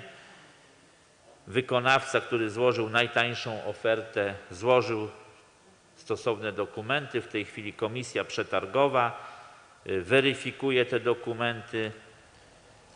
Mam nadzieję, że w najbliższych tygodniach ta weryfikacja się skończy i będziemy mogli w tym, w tym roku y, podpisać umowę z wykonawcą na realizację stadionu. Y, Zakładamy, że ciężar najważniejszych, największych robót zostanie wykonany do końca przyszłego roku. Y, Inwestycja jest rozłożona na rok 2022 w realizacji i finansowaniu i rok 2023. Przypominam, że mamy tutaj dofinansowanie prawie 6 milionów złotych, 5 milionów 900 tysięcy i jeszcze z małym haczykiem z Ministerstwa Sportu w ramach programu inwestycji strategicznych dla polskiego sportu. Odniosę się szerzej do tego postępowania po jego zakończeniu. Kiedy już zostanie wyłoniony wykonawca, wtedy publicznie y, przedstawię cały proces chyba najdłuższego albo jednego z najdłuższych postępowań y, przetargowych y, ostatnich lat. Bowiem, jak Państwo wiecie, ten przetarg został ogłoszony w grudniu ubiegłego roku. 18 października ogłoszone zostało postępowanie w trybie podstawowym bez negocjacji na realizację zadania inwestycyjnego modernizacja elewacji przedszkola nr 2 w Nakle nad Notecią. Jest to na wniosek Państwa radnych, szczególnie Komisji Edukacji, Kultury, Sportu, Opieki Społecznej, Bezpieczeństwa naszej Rady. Termin składania ofert upływa 3 listopada 2021 roku i mamy nadzieję, że ten budynek również doczeka się schludnej elewacji w najbliższych miesiącach z termomodernizacją, z dociepleniem trzech ścian. Niestety jednej ściany nie jesteśmy w stanie docieplić, bowiem wychodzimy poza granice y, naszego gruntu. Nie ma tam takiej konieczności, są to pomieszczenia głównie y, magazynowe. Y, Jeżeli w przyszłości byłaby taka konieczność, ale tak pani dyrektor Karnikowska twierdzi, że tam nie trzeba, nawet lepiej, że jest troszeczkę chłodniej, zawsze jest ta technologia docieplenia od wewnątrz. Na razie zrobimy ten etap i myślę, że przedszkole uzyska nowy blask. 19 października została zawarta umowa przetargu nieograniczonym na zagospodarowanie odpadów komunalnych wielkogabarytowych pochodzących z nieruchomości zamieszkałych z terenu miasta i gminy Nakło nad Notecią. Termin realizacji usługi wynosi dwa miesiące. Wykonawcą jest Remondis z ceną 219 574 zł i 80 groszy brutto. I szanowni państwo, proszę posłuchać. W postępowaniu wpłynęły dwie oferty. Najdroższa, czyli ta druga, to już nie 219 tysięcy, a 918 tysięcy złotych i 54 grosze brutto. Taki rozrzut za tą samą usługę. Tak w Polsce funkcjonuje rynek związany z gospodarką odpadami. Mógłbym postawić retoryczne pytanie: co byśmy mieli zrobić, gdybyśmy nie mieli tej oferty 219, która też nie jest tania? To jest bardzo dużo pieniędzy. My to płacimy za zagospodarowanie, szanowni państwo, tych zebranych gabarytów, wyrzucanych mebli, kanap, stołów. Za to to płacimy. A co by było, gdybyśmy mieli zapłacić ponad 900 tysięcy? To są pieniądze, które muszą pochodzić i pochodzą z systemu gospodarowania odpadami komunalnymi. I tutaj Państwo widzicie wyraźnie, że to od nas nie zależy. Takie mamy oferty z rynku. 20 października nastąpiło otwarcie ofert w postępowaniu w trybie podstawowym bez negocjacji na realizację zadania inwestycyjnego budowa siłowni zewnętrznej i placu zabaw na działce 227 przez 3 w występie. Zamówienie podzielone zostało na części. Część pierwsza to budowa placu zabaw i siłowni zewnętrznej. I złożone zostały dwie oferty. Pierwsza na kwotę 182 030 zł 82 groszy brutto, a druga na kwotę 258 300 zł brutto. Część druga zaprojektowanie i montaż instalacji fotowoltaicznej. I tutaj też mamy dwie oferty. Pierwsza to kwota 36 900 zł brutto, a druga to kwota 79 691 zł i 70 groszy brutto. Obecnie trwa weryfikacja ofert. 20 października ogłoszone zostało postępowanie w trybie podstawowym bez negocjacji na realizację zadania utworzenie Centrum Rozwoju Społecznego w Nakle nad Notecią w zakresie dostawy i montażu mebli. Termin składania ofert to 2 listopada bieżącego roku. 21 października ogłosiliśmy postępowanie w trybie podstawowym bez negocjacji na oczyszczanie ulic, usuwanie śniegu i lodu na obszarze naszego miasta i naszej gminy. Termin składania to 29 października 2021 roku. 26 października zostało opublikowane w Dzienniku Urzędowym Unii Europejskiej ogłoszenie o przetargu nieograniczonym na świadczenie usług na terenie miasta i gminy w zakresie odbierania odpadów komunalnych od właścicieli nieruchomości, na których zamieszkują mieszkańcy oraz usług w zakresie odbioru i zagospodarowania odpadów komunalnych z terenu targowisk, szeletów publicznych, remis strażackich, cmentarzy komunalnych, budynków, Urzędu Miasta i Gminy Nakło nad Notecią, miejsc pamięci narodowej, usuwania martwych zwierząt. Termin dwu- 23 listopada 2021 roku. Przedstawiam informację z realizacji zadań inwestycyjnych. Październiku w ramach zadania modernizacja placu zabaw przy świetlicy wiejskiej w miejscowości Karnowo dokonano odbioru końcowego, zakupu, dostawy oraz montażu czterech urządzeń sportowych siłowni zewnętrznej przy świetlicy za kwotę 9700 zł brutto. Urządzenia dostarczone zostały przez firmę Fitpark z siedzibą w Toruniu oraz zakład produkcyjno-usługowy Romex z siedzibą w Bydgoszczy. Nadzór inwestorski prowadzony był przez firmę Jolida Andrzej Krupiński. W ramach zadania budowa placu zabaw w Glunowicach dla dzieci uczestniczących w programach edukacyjno-wychowawczych z elementami profilaktyki uzależnień w miesiącach wrześniu oraz październiku dokonano zakupu, dostawy oraz montażu urządzeń zabawowych i tak za kwotę to było 27 648 zł brutto, zrealizowane przez firmę Happy, spółka cywilna, a nadzór prowadziła firma Jolida pana Andrzeja Krupińskiego. 4 października dokonano odbioru końcowego dostawy i montażu urządzeń siłowni zewnętrznej, wyciąg górny, drabinka wraz z podciągiem drążek do ćwiczeń w ramach zadania zagospodarowanie terenu na siłownię zewnętrzną wraz z dokumentacją projektową w Potulicach dla dzieci i młodzieży uczestniczących w programach edukacyjno-wychowawczych z elementami profilaktyki uzależnień. Dostaw, dostawca i montowała to firma Fit Park z Torunia. Wartość 13 087 zł 20 groszy. Nadzór również prowadziła firma Jolida Andrzej Krupiński. Szanowni Państwo, chciałbym Państwa poinformować, że w związku z ogłoszonymi wynikami pierwszego pilotażowego naboru programu inwestycji strategicznych w ramach Rządowego Funduszu Polski Ład gmina Nakło nad Notecią otrzymała dofinansowanie postaci oczywiście promesy na inwestycje pod nazwą Przebudowa dróg w miejscowości Nakło nad Notecią. Wartość przyznanego wsparcia to kwota 12 milionów 872 500 zł brutto, co stanowi 95% wartości kosztorysowych zakładanych inwestycji. Wartość całkowita zadań przebudowy dróg w naszej miejscowości w mieście Nakło to 13 milionów 550 tysięcy złotych brutto. Na podstawie ogłoszonej listy gmina otrzyma promesę wstępną udzieloną przez Bank Gospodarstwa Krajowego, co będzie wiązało się z możliwością wszczęcia przez nas, przez beneficjenta i rozpoczęcia tak naprawdę wszczęcia postępowań przetargowych na wyłonianie wykonawców poszczególnych elementów tego zadania. Na ogłoszenie postępowania gmina ma 6 miesięcy. Najbliższe pół roku jesteśmy zobowiązani ogłosić przetargi.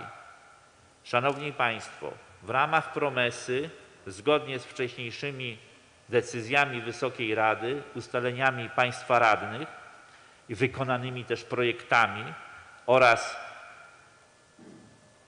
opiniami skierowanymi przez Zespół Infrastruktury Drogowej w zakresie konieczności naprawy bądź remontu kilku odcinków drogowych w naszym mieście, wniosek obejmuje. Przebudowę ulic w północnej części miasta, to jest Różaną, Stokrotkową, Bratkową, Fiołkową, Armii Krajowej w kierunku wiaduktu, ale niepełną, to będzie fragment do ulicy Goździkowej i ulicę Goździkową, ulicę Kochanowskiego, ulicę Szkolną i ulicę Kazimierza Wielkiego wraz z budową drogi dojazdowej do nowo powstającej zabudowy mieszkaniowej realizowanej w ramach rządowego programu Mieszkanie Plus.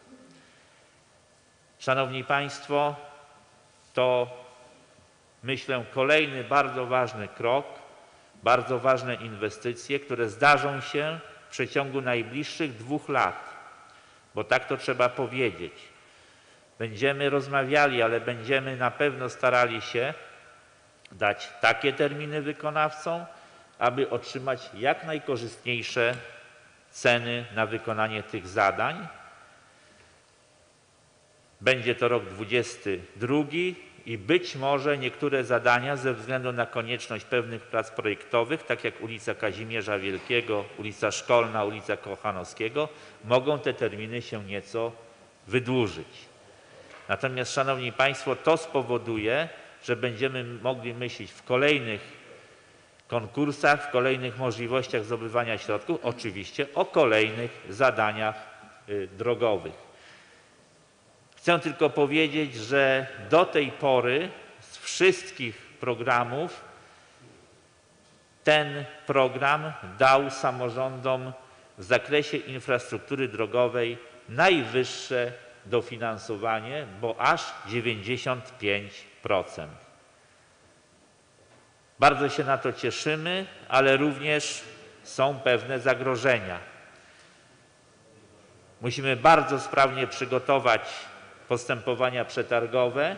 Musimy przynajmniej najpóźniej w listopadzie, w drugiej części bądź w grudniu je ogłosić, bowiem istnieje zagrożenie, że rynek może odpowiedzieć znacząco wysokimi cenami. I na takie zagrożenie musimy być przygotowani, żebyśmy się w tych wartościach zmieścili, musimy te postępowania przeprowadzać możliwie w jak najbardziej optymalnym, bo nie powiem szybkim terminie. Myślę, że jest to tak jak wiemy co roku przełom, przełom roku, przełom grudnia i stycznia. Szanowni Państwo, to tyle. Dziękuję bardzo za uwagę. Jeśli są pytania, odpowiem. Dziękujemy bardzo za przedstawienie e, sprawozdania i bardzo proszę pan e, radny Dariusz Domek jako pierwszy. e, Proszę o głos dyskusji.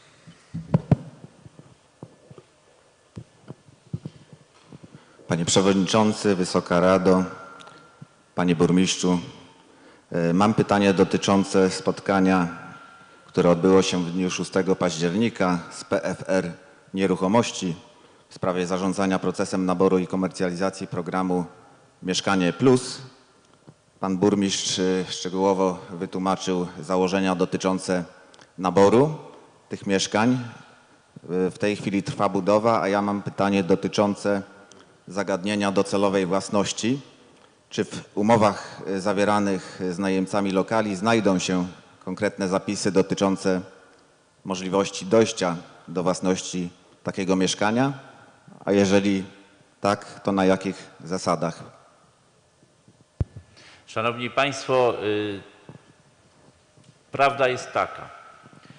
Program Mieszkanie Plus y, uległ pewnym zmianom w momencie, kiedy wicepremierem i ministrem infrastruktury była pani Jadwiga Emilewicz.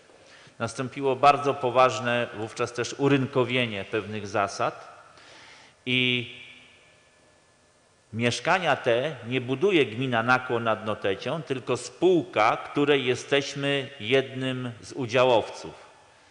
A udziałowcem spółki Mieszkanie dla Rozwoju Nakło nad Notecią jest Polski Fundusz Rozwoju Nieruchomości i gmina Nakło nad Notecią.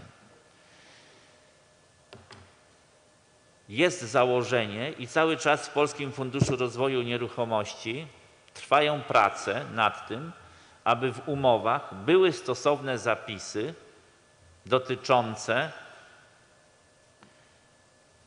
dojścia do własności.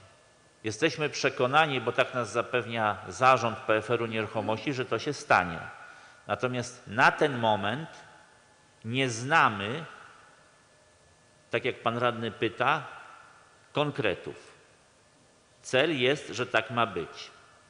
Jest tutaj pewien problem prawny, bowiem moglibyśmy my, jako gmina, pewien ruch wykonać, ale żebyśmy my ten ruch wykonali, musielibyśmy być właścicielem spółki. A my właścicielem spółki jako gmina staniemy się za 30 lat. Tak to wygląda. Ponieważ przez 30 lat, 25 do 30 lat, będziemy wykupywali udziały w spółce. Natomiast właścicielem spółki PFR Nieruchomości, a tak naprawdę PFR Nieruchomości reprezentuje Towarzystwo Funduszy Inwestycyjnych. Zaletą tego rozwiązania jest to, co już odczuwamy, a myślę, że również ci, którzy będą te mieszkania wynajmowali, odczują. Budują się one jeszcze, możemy tak powiedzieć, w warunkach ekonomicznych chociażby sprzed pół roku co jest bardzo ważne, bowiem widzicie Państwo, co się dzieje na rynku nieruchomości w zakresie kosztów budowy.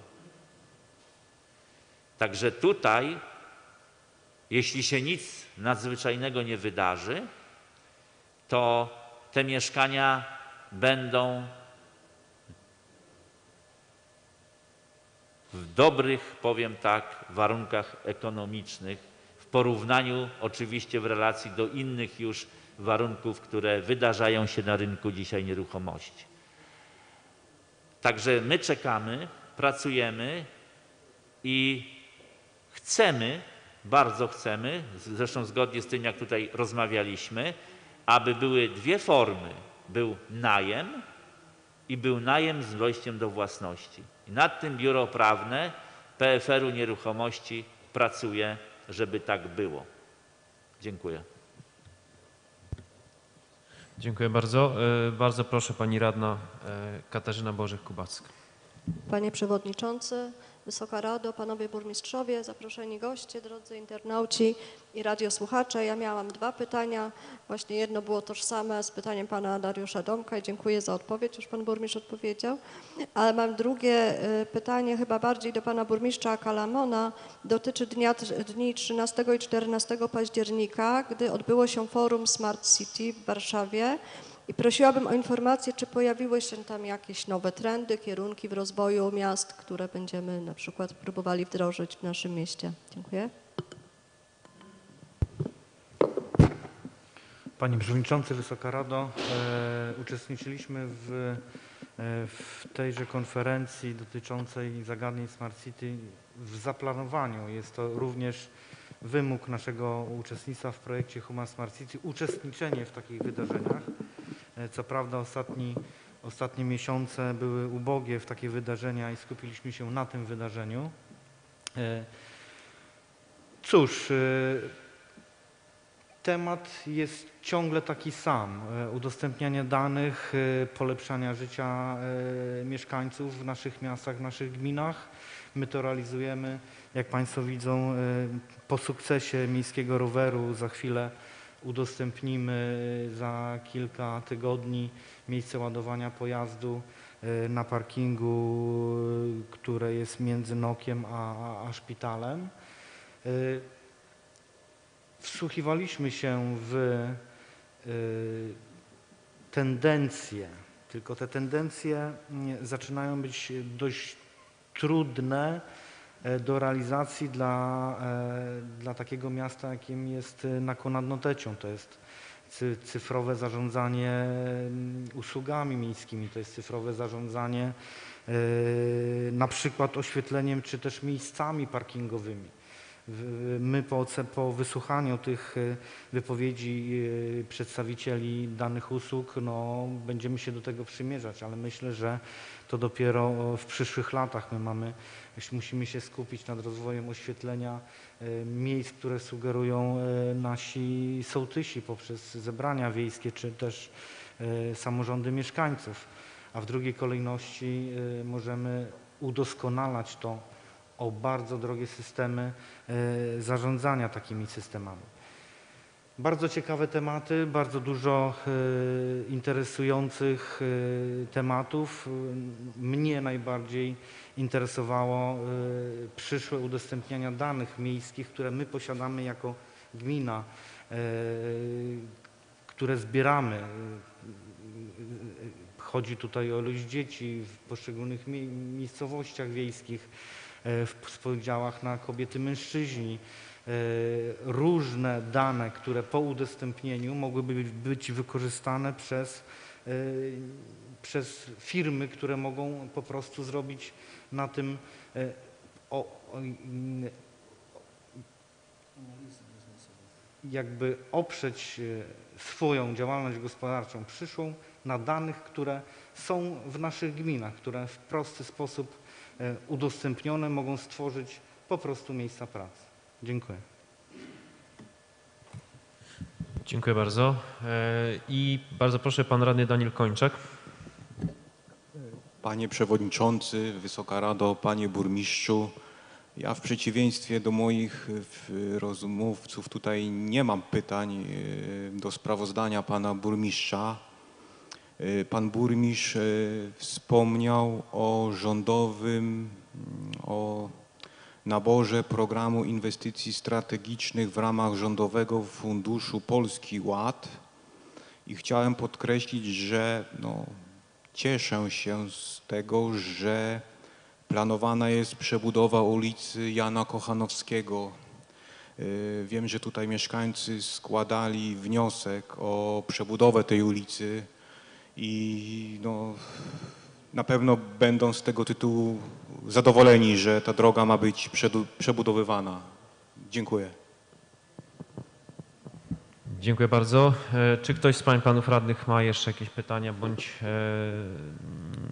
uwagi do przedstawionego sprawozdania?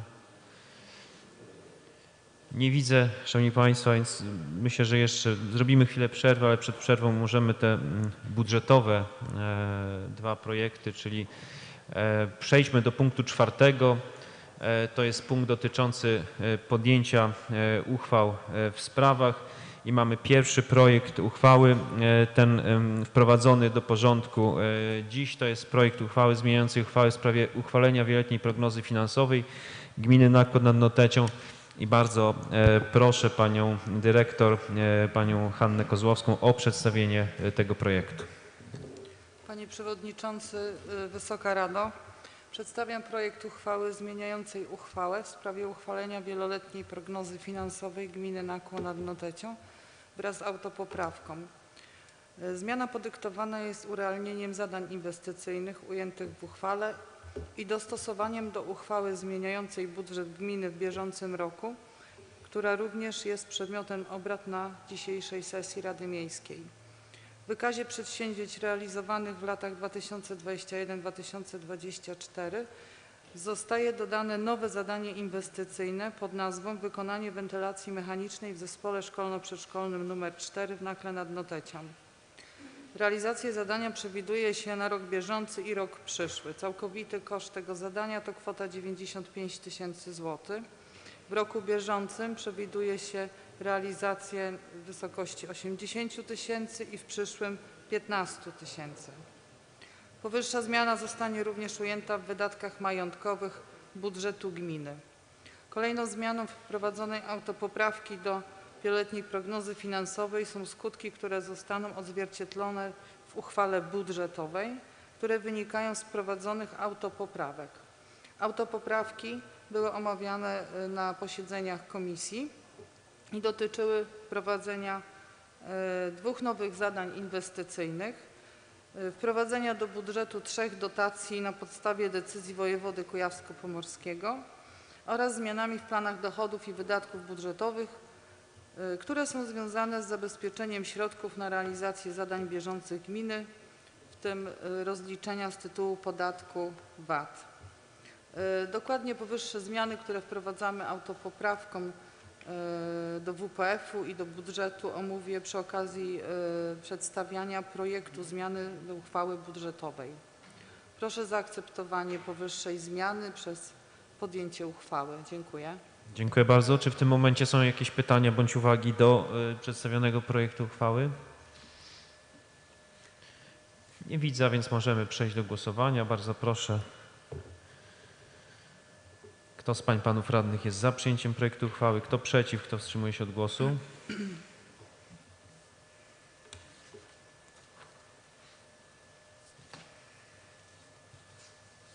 Dziękuję. Głosowało 21 radnych za przyjęciem projektu uchwały. Był 21 radnych. Głosów przeciw, wstrzymujących nie było. Stwierdzam, że uchwała została przyjęta jednogłośnie. I panią dyrektor proszę o przedstawienie drugiego projektu uchwały oznaczonego jako punkt 4b.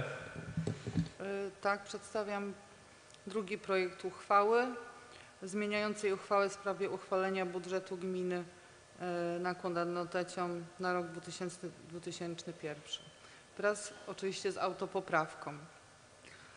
Y, Projekt y, uchwały zakłada zwiększenia zarówno po stronie planu dochodów budżetowych, jak i wydatków budżetowych o tą samą kwotę 274 966 zł. W związku z powyższym na etapie przedstawiania projektu deficyt y, jest taki sam, nie zmienia się, wynosi 9 980 465 zł 92 grosze i źródła finansowania tego deficytu oczywiście są określone w uchwale.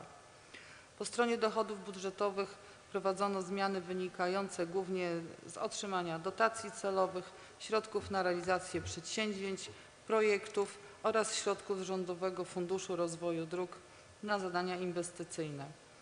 Oczywiście e, zmiany zostały uwzględnione po stronie e, planu wydatków budżetowych. Jednocześnie wprowadzono e, zmiany w planie wydatków budżetowych polegające na przesunięciach środków pomiędzy działami, rozdziałami i paragrafami klasyfikacji budżetowej w celu zabezpieczenia zadań, które muszą być zrealizowane do końca roku w budżecie. E, Projekt uchwały zmieniającej budżet był szczegółowo omawiany na posiedzeniach e, komisji. E, Jednocześnie w tym momencie chciałabym przedstawić w ramach autopoprawki dodatkowe zmiany. Zmiany te dotyczą zarówno zadań inwestycyjnych, jak i bieżących. I teraz w zakresie zmian inwestycyjnych w budżecie są to dwa zadania. Pierwsze zadanie, które, które w zasadzie pan burmistrz już omówił, e, nazwa przebudowa dróg w miejscowości Nakło nad Notecią e, wraz z prowadzeniem po stronie wydatków majątkowych kwoty 15 tysięcy złotych na opracowanie stosownej koncepcji w tym zakresie. Drugie zadanie inwestycyjne, o którym wspominałam przy okazji zmian do WPF-u, czyli wykonanie wentylacji mechanicznej w zespole szkolno-przedszkolnym nr 4 w Nakle nad Notecią z jednoczesnym wprowadzaniem e, środków w wydatkach majątkowych 80 tysięcy złotych na realizację jeszcze w tym roku. To są te dwa zadania inwestycyjne. Kolejne to są trzy dotacje celowe, które otrzymaliśmy na e, podstawie e, decyzji wojewody kujawsko-pomorskiego. E, Pierwsza dotacja dotyczy e, zwrotu części podatku akcyzowego zawartego w cenie oleju napędowego wykorzystywanego do produkcji rolnej przez producentów rolnych oraz na pokrycie kosztów postępowania w sprawie jego e, zwrotu. Jest to drugi termin płatniczy. Pierwszy był w kwietniu. W drugim terminie złożono 186 wniosków, wszystkie rozpatrzono pozytywnie. Kwota dotacji 360 tysięcy, 9 zł 64 grosze. Yy, To jest akcyza i druga dotacja, dotacja y, 25 tysięcy złotych y, na realizację zadania opieki nad obiektami grobownictwa wojennego. Zostaną te środki y, przeznaczone na remont obrzeży mogił na terenie cmentarza ofiar terroru hitlerowskiego. Y, Zwiększono środki o 25, czyli po zmianie wynosi 30 tysięcy. Y, To przepraszam, bo to są dwie dotacje, nie trzy. Ponadto dokonuje się zmian y, w zakresie wydatków bieżących realizowanych w budżecie poprzez przesunięcia między rozdziałami, paragrafami klasyfikacji budżetowej, zabezpieczając w ten sposób kwotę y, 29 tysięcy y, na przeprowadzenie zabiegów agrotechnicznych na terenach leśnych w celu przygotowania tych terenów do nasadzeń. Chodzi o obszary zniszczone przez nawałnice. Również zabezpieczamy kwotę y, 7 tysięcy na zwiększenie środków, które są przeznaczone na wypłatę dotacji celowych, częściowo rekompensujących koszty inwestycji poniesione w związku z modernizacją ogrzewania. Y, Po zmianie środki przeznaczone na dotacje na ten cel y, wynoszą 379 500 zł. Kolejna zmiana to zmniejszenie po stronie dochodów i wydatków budżetowych, które jest związane z rozliczeniem końcowym podatku y, VAT. Chodzi o przeprowadzane przez gminę transakcje. Y, Mianowicie było to objęcie udziału w spółce NDR Nakład nad Notecią i w związku z otrzymaną refundacją wydatku y, zmniejszamy plan o 528 tysięcy 80 zł. Jednocześnie następuje zwiększenie planu dochodów i wydatków o kwotę 241 173 zł. Również jest to związane z rozliczeniem podatku VAT i zabezpieczeniem środków na ten cel, a planowana jest transakcja, która polega na zamianie nieruchomości gruntowych i rozliczeniami wynikającymi z różnicy wartości działek y, zlokalizowanych w Paterku. W budżecie zabezpiecza się kwotę 75 tysięcy złotych y, na organizację ruchu jednokierunkowego na odcinku, na odcinku od ulicy Księdza Piotra Skargi do Placu Konopnickiej oraz kwotę 15 tysięcy złotych na usługi koparką-ładowarką w celu załadunku żużla w Kapec w Nakle nad Notecią. Ostatnia zmiana dotyczy środków w ramach Funduszu Sołeckiego. Jest to przesunięcie kwoty 3600 zł z zakupów na mm, usługi y, na zadaniu utrzymanie zieleni w miejscowości y, Potulice. To są zmiany, które, które przedstawiłam w ramach autopoprawki. One też na komisjach były omawiane i proszę Państwa o podjęcie uchwały. Dziękuję bardzo. Czy w tym momencie są pytania bądź uwagi do e, przedstawionego projektu uchwały? Nie, nie widzę, a więc możemy przejść do głosowania. Bardzo proszę. Kto z pań panów radnych jest za przyjęciem projektu uchwały? Kto przeciw? Kto wstrzymuje się od głosu?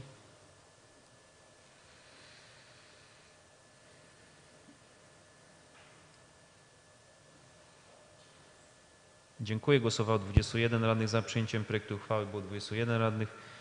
Głosów przeciw, wstrzymujących nie było. Stwierdzam, że uchwała została przyjęta jednogłośnie. Dziękuję serdecznie, Szanowni Państwo. Przed kolejnymi projektami proponuję e, 20 minut przerwy. Dziękuję bardzo.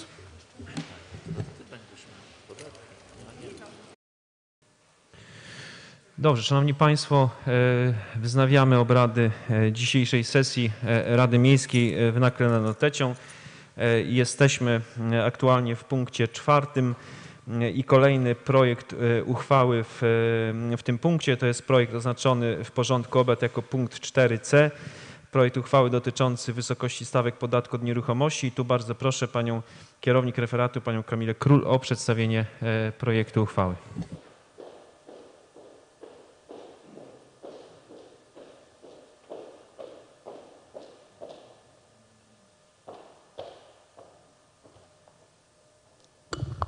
Panie Przewodniczący, Wysoka Rado, przedstawiam projekt uchwały w sprawie wysokości stawek podatku od nieruchomości. Rada Miejska w Nakle nad Notecią na podstawie up- uprawnień zawartych w ustawie o podatkach i opłatach lokalnych określiła wysokość stawek podatku od nieruchomości obowiązujących na terenie miasta i gminy Nakło nad Notecią z uwzględnieniem ograniczeń zawartych w obwieszczeniu ministra finansów, Funduszu i Polityki Regionalnej z dnia 22 lipca 2021 roku w sprawie górnych granic stawek kwotowych podatków i opłat lokalnych na rok 2022. Projekt uchwały został szczegółowo omówiony na posiedzeniach komisji wraz z autopoprawką, która dotyczy paragrafu pierwszego ustępu drugiego punktu b. Kwotę 24 zł 48 groszy zastępuje się kwotą 25 zł 48 groszy. Powyższa zmiana jest związana z oczywistą omyłką pisarską. Dziękuję i proszę Wysoką Radę o podjęcie uchwały. Dziękuję bardzo za przedstawienie e, projektu wraz z autopoprawką. Czy w tym momencie są pytania bądź uwagi do mm, tego projektu? Nie widzę, a więc możemy przejść do głosowania. Bardzo proszę o umożliwienie głosowania. Kto z pań panów radnych jest za przyjęciem projektu uchwały? Kto przeciw? Kto wstrzymuje się od głosu?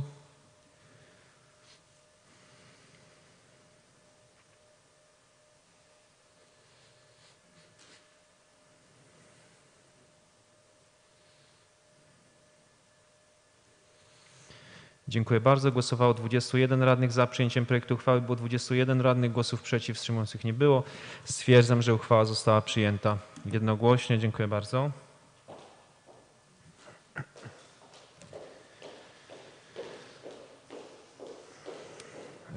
Przechodzimy dalej. Kolejny projekt oznaczony w porządku obrad jako punkt e, 4e. Mm, Jest to e, projekt uchwały. e, Pozwolę sobie przedstawić ten projekt. Tak, jest to projekt uchwały Rady Miejskiej w Nakle nad Notecią w sprawie e, przystąpienia do sporządzenia miejscowego planu zagospodarowania przestrzennego terenu położonego w rejonie ulicy Wspólnej e, w Nakle e, nad Notecią.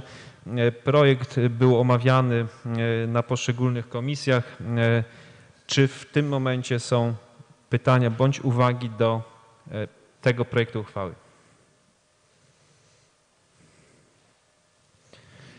Nie widzę, a więc możemy przejść do głosowania. Bardzo proszę o umożliwienie głosowania. Proszę bardzo, kto z pań, panów radnych jest za przyjęciem projektu uchwały, kto przeciw, kto wstrzymuje się od głosu?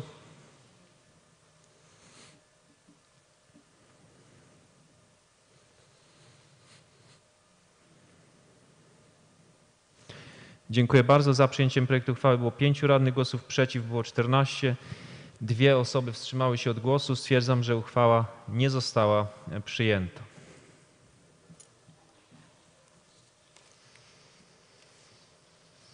Kolejny projekt oznaczony w porządku obrad jako punkt 4f. Jest to projekt e, uchwały Rady Miejskiej w Nakle nad Notecią e, w sprawie regulaminu utrzymania czystości i porządku na terenie miasta i gminy Nakło nad Notecią. E, Szanowni Państwo, e, ten projekt e, również był omawiany na poszczególnych komisjach, natomiast na prośbę pani dyrektor Anny Nowak tutaj mam, znaczy pani dyrektor proponuje autopoprawki, które, które pozwolę sobie Państwu przedstawić. I taki w projekcie uchwały w, na stronie siódmej w paragrafie mm, 12, w paragrafie 12 e, mamy dwukrotnie, tak jak mamy paragraf 12, to w tym pierwotnym projekcie dwukrotnie pojawia się punkt, punkt trzeci, czy ustęp trzeci, tak? E, No i tutaj oczywiście jest to też oczywista omyłka pisarska, e, no i ta poprawka dotyczy tego, aby ten powtórzony, tak, ustęp trzeci zastąpić zgodnie z numeracją jako ustęp czwarty. E, To jest pierwsza zmiana E, i druga e, autopoprawka to jest strona ósma naszego projektu uchwały. I tutaj mamy paragraf 12 ustęp 5 i w punkcie pierwszym dodanie zwrotu lub worki, tak? Mamy punkt pi- pierwszy, czyli paragraf 12 ustęp 5 punkt pierwszy Brzmienie było wystawione pojemniki nie mogą być zlokalizowane dłużej niż 12 godzin poza terenem nieruchomości przed i po określonym w harmonogramie terminem odbioru odpadów. Mm, Tu autopoprawka polega na tym, że mm, dodajemy w tym punkcie pierwszym to, ten zwrot lub worki, a więc brzmienie mm, jest następujące. Wystawione pojemniki lub worki nie mogą być zlokalizowane dłużej niż 12 godzin poza terenem nieruchomości przed i po określonym w harmonogramie terminem odbioru odpadów. I tak samo w e, paragrafie 12 ustępie 5 punkcie drugim tutaj również dodanie tego zwrotu lub worki, a więc proponowane brzmienie jest następujące. Wystawione pojemniki lub worki nie mogą powodować ograniczeń komunikacyjnych e, osobom trzecim. Ten projekt uchwały i te autopoprawki były już też e, omawiane na poszczególnych komisjach. Czy w tym momencie ktoś z pań panów radnych ma pytania bądź uwagi do projektu uchwały i do tych autopoprawek? Nie widzę, a więc możemy przejść do e, głosowania. Bardzo proszę o umożliwienie głosowania. Kto z pań panów radnych jest za przyjęciem projektu uchwały? Kto przeciw? Kto wstrzymuje się od głosu?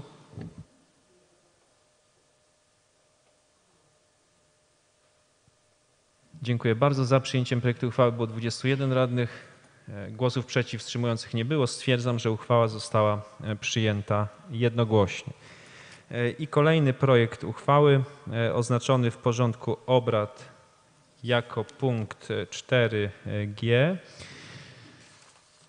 E, Jest to projekt uchwały Rady Miejskiej w Nakle nad Notecią w sprawie ustalenia wysokości opłaty za e, gospodarowanie e, odpadami komunalnymi. Ten projekt również był bardzo szczegółowo omawiany na poszczególnych komisjach. Mm, e, Wiem, że w tym momencie tutaj też pani dyrektor Anna Nowak chciałaby kilka informacji jeszcze mm, związanych z tym projektem przedstawić, a więc bardzo proszę panią, panią dyrektor.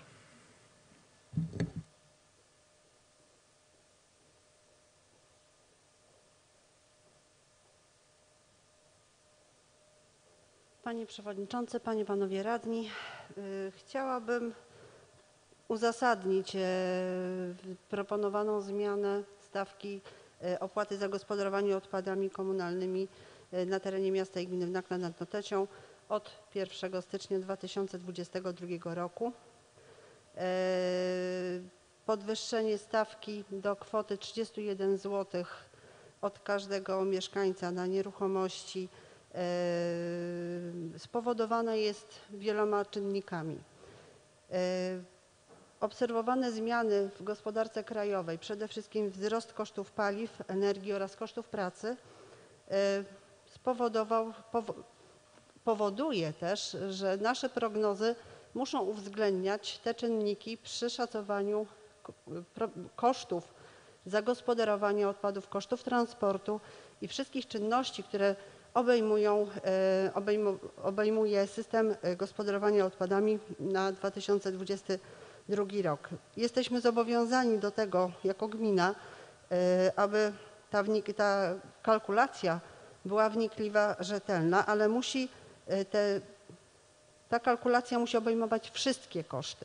Nie możemy wybiórczo traktować e, pewnych elementów, w związku z tym e, prognozujemy, że średnio wzrost kosztów usług zagospodarowania odpadów komunalnych będzie wynosił 12% w przyszłym roku. E, To powoduje na zmiany stawki y, czy też tych kosztów y, wpływa również fakt, że zmiana, zmienia się udział różnych frakcji odpadów w odpadach odbieranych od mieszkańców.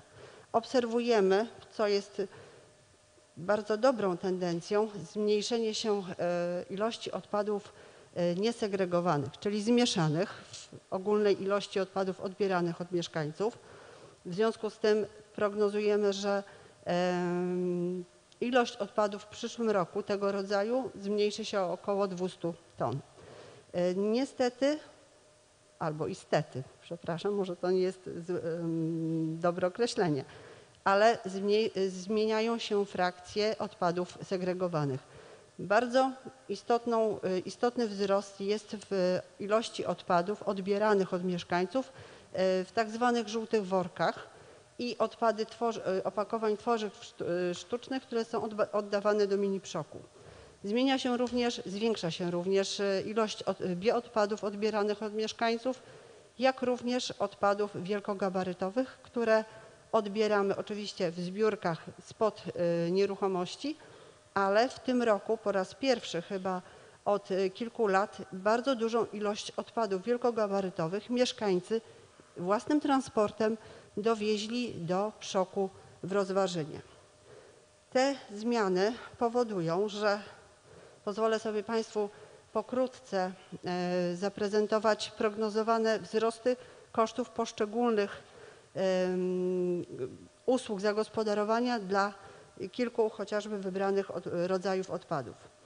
I tak, w tym roku za e, zagospodarowanie bioodpadów, czyli tych zbieranych w brązowym worku, płacimy brutto 394 zł 20 groszy, wzrost o 12%, e, jeśli chodzi o koszt e, usługi, jak również wzrost masy tych odpadów o 200 ton e, powoduje, że prognozujemy, że zb- zbierzemy ich w przyszłym roku około 1200 ton, gdzie koszt prognozowany zagospodarowania tego typu odpadów będzie wynosił 441 zł 50 groszy od każdej tony.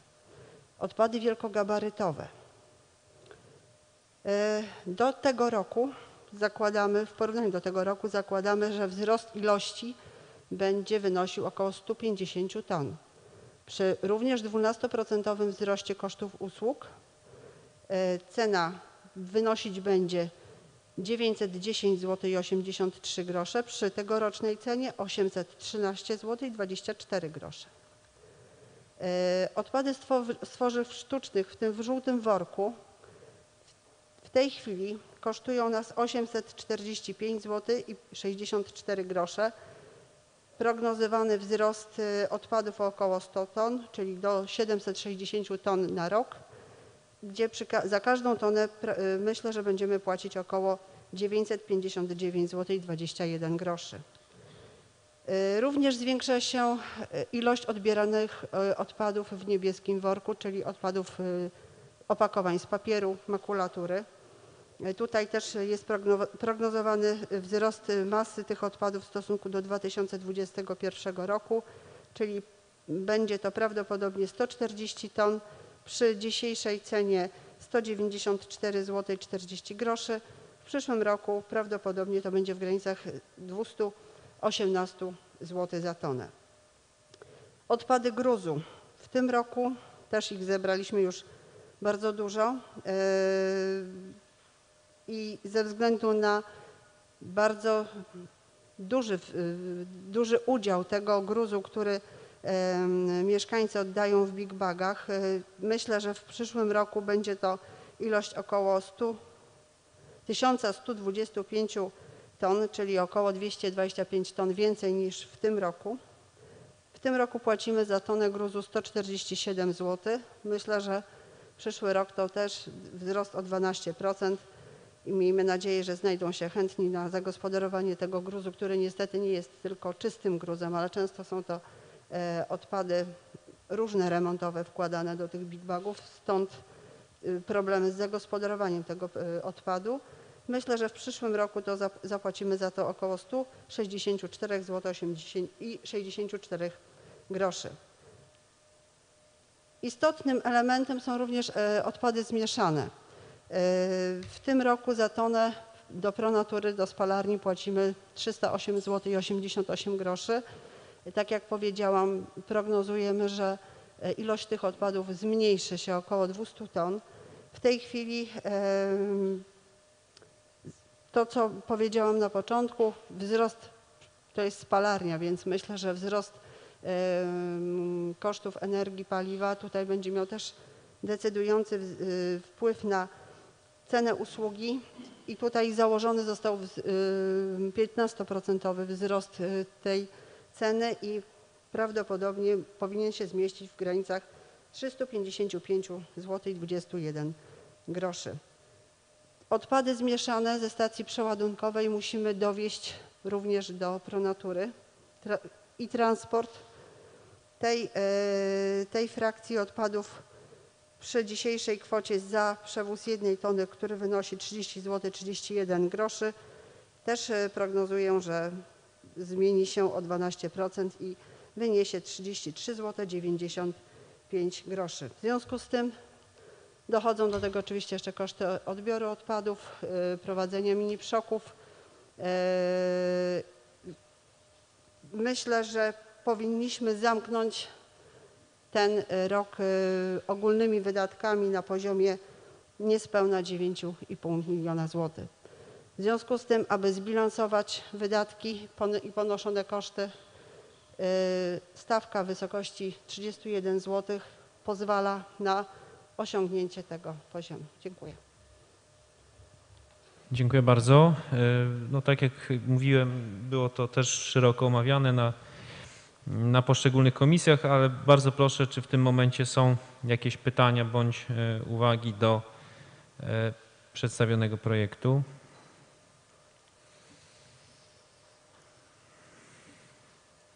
Nie widzę e, zgłoszeń. Proszę o chwilę cierpliwości, tak, ponieważ coś dzisiaj nam tutaj technika szwankuje.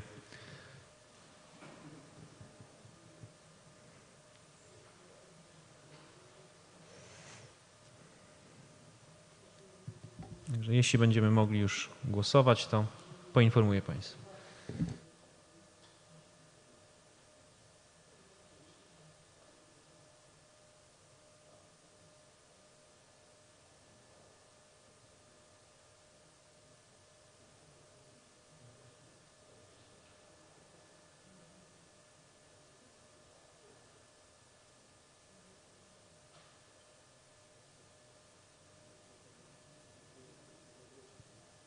Dobrze, Szanowni Państwo, dwie minuty e, takiej przerwy technicznej, tak spróbujemy mm, tutaj naprawić.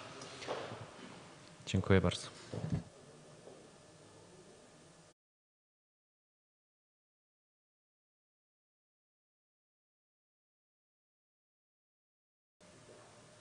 Możemy przejść do głosowania, tak? Dobrze, czyli jesteśmy w tym punkcie oznaczonym jako 4G, tak? Mamy em, przedyskutowany projekt. Bardzo proszę o umożliwienie głosowania. Bardzo proszę, kto z pań, panów radnych jest za przyjęciem projektu uchwały, kto przeciw, kto wstrzymuje się od głosu, proszę o głosowanie.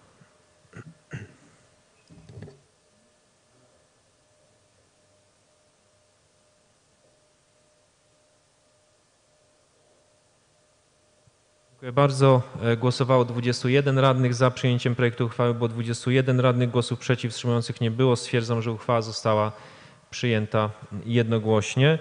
E, Przechodzimy więc do punktu kolejnego, oznaczonego w porządku obrad jako punkt e, 4H. I tu bardzo proszę pana przewodniczącego Komisji Skarg, Wniosków i Petycji, pana radnego Antoniego Żygowskiego o przedstawienie projektu uchwały.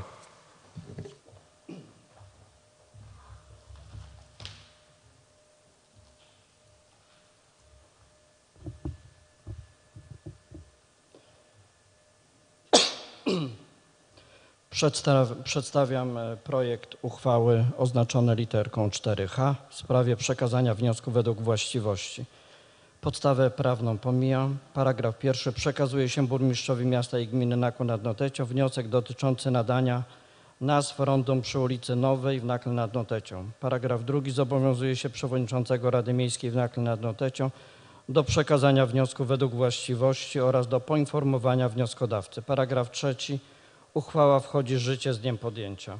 Uzasadnienie. Do Rady Miejskiej w Nakle nad Notecią w dniu 6 września 2021 roku wpłynął wniosek dotyczący nadania nazw rondom przy ulicy Nowej w Nakle nad Notecią. Stosownie do, paragra do paragrafu 79 ustęp 5 punkt 2 Statutu Miasta i Gminy Nakło nad Notecią przewodniczący Rady Miejskiej w Nakle nad Notecią przekazał przedmiotowy wniosek do Komisji Skarg, Wniosków i Petycji. Dnia 28 stycznia 2021 roku Rada Miejska w Nakle nad Notecią podjęła uchwałę nr 29 łamane 629 łamane 2021 w sprawie zasady nadawania lub zmiany nazw ulic, placów i innych terenu, terenów obiektów publicznych na terenie miasta i gminy Nakło nad Notecią, której wykonanie powierzono burmistrzowi miasta i gminy Nakło nad Notecią. Członkowie komisji po zapoznaniu się z całą dokumentacją w wyżej wymienionej sprawie jednomyślnie postanowili o przekazaniu wniosku inicjującego procedurę nadania nazw rondom nakielskim przez burmistrza miasta i gminy Nakło nad Notecią. Projekt uchwały był e, procedowany na wszystkich komisjach, na wszystkie pytania z- udzieliłem odpowiedzi. Także bardzo proszę o poparcie. Dziękuję bardzo. Czy w tym momencie są pytania bądź uwagi? Nie widzę, a więc możemy przejść do głosowania. Bardzo proszę. Kto z pań panów radnych jest za przyjęciem projektu uchwały? Kto przeciw? Kto wstrzymuje się od głosu?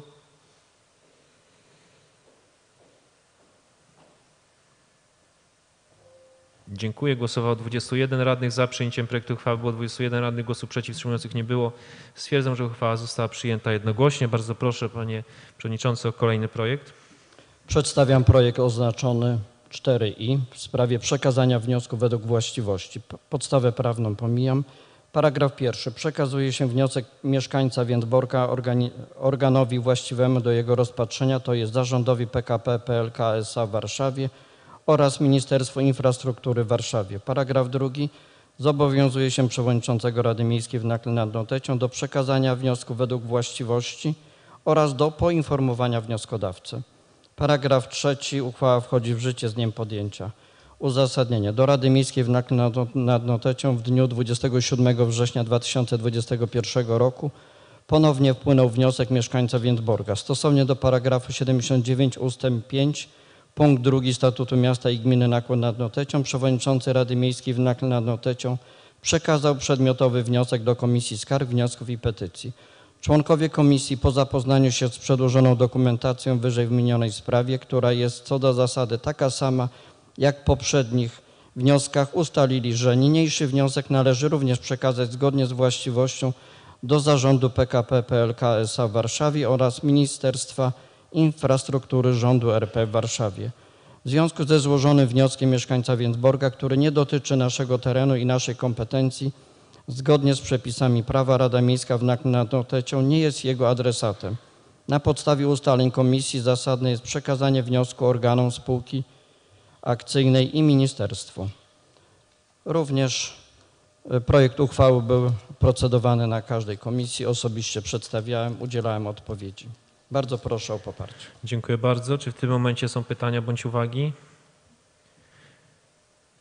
Nie widzę, a więc możemy przejść do głosowania.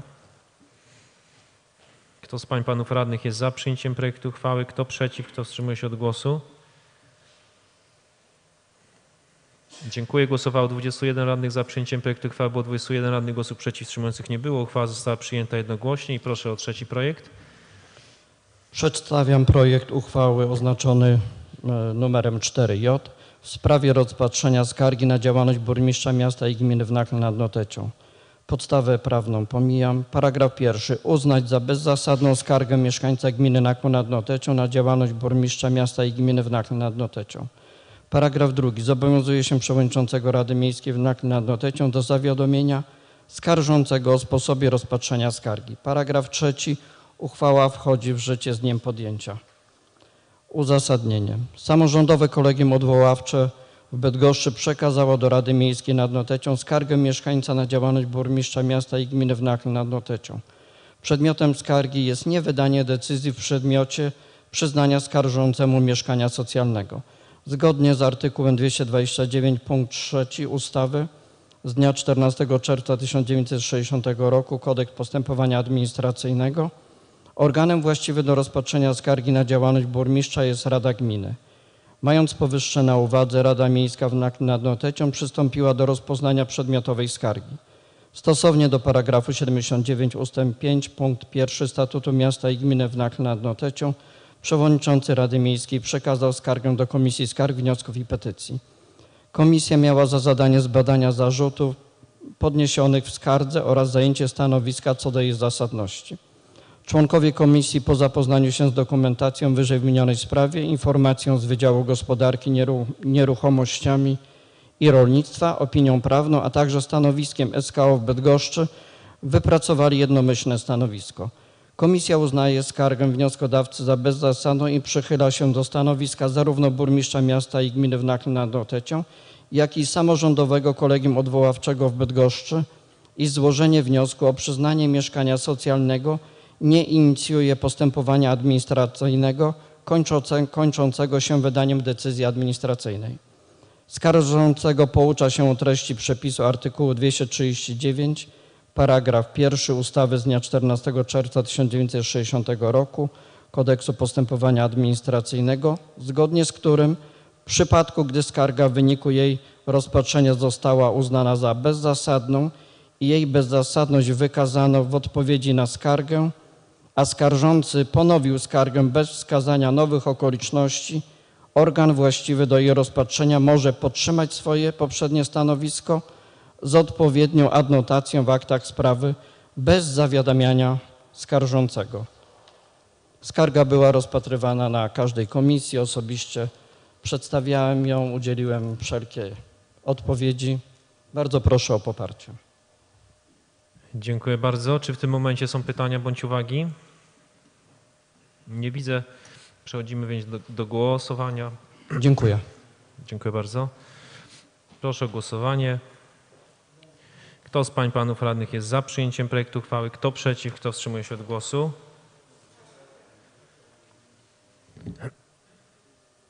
Dziękuję. Głosowało 21 radnych. Za przyjęciem projektu uchwały było 21 radnych. Głosów przeciw, wstrzymujących nie było. Stwierdzam, że uchwała została przyjęta jednogłośnie. Przechodzimy dalej. E, Kolejny projekt uchwały e, oznaczony w porządku obrad jako punkt e, 4k. E, Pozwolę sobie odczytać. Jest to projekt uchwały Rady Miejskiej w Nakle nad Notecią w sprawie wyrażenia zgody na sprzedaż nieruchomości położonych w obrębie paterek. Projekt mm, również był omawiany szczegółowo na poszczególnych komisjach. Czy w tym momencie są pytania bądź uwagi?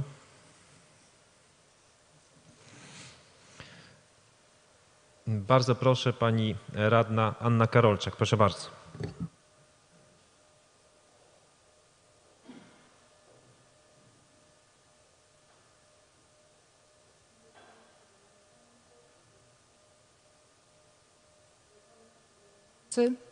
Koleżanki i koledzy radni, panie burmistrzu, radiosłuchacze i internauci. Radni z Paterka i radna pani Mieczysława Palicka wnioskujemy, żeby w uzasadnieniu przedstawionej uchwały zgodnie z wolą mieszkańców Paterka zaznaczyć, że działka ma być przeznaczona pod budowę sklepu spożywczo-przemysłowego, określić termin realizacji tej inwestycji dwa lata. W przypadku, jeżeli ta inwestycja nie dojdzie do skutku, gmina będzie miała prawo odkupić działkę za cenę, za jaką została nabyta. Dziękuję.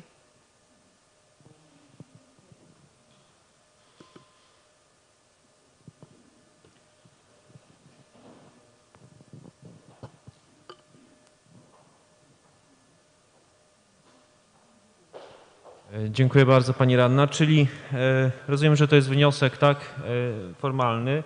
No, oczywiście za moment go poddamy do głosowania, pod głosowanie, z tym, że no, żeby tutaj sprecyzować, e, jak rozumiem w uzasadnieniu, tak, wnioskuje pani w imieniu, w imieniu radnych, aby dopisać takie zdanie, że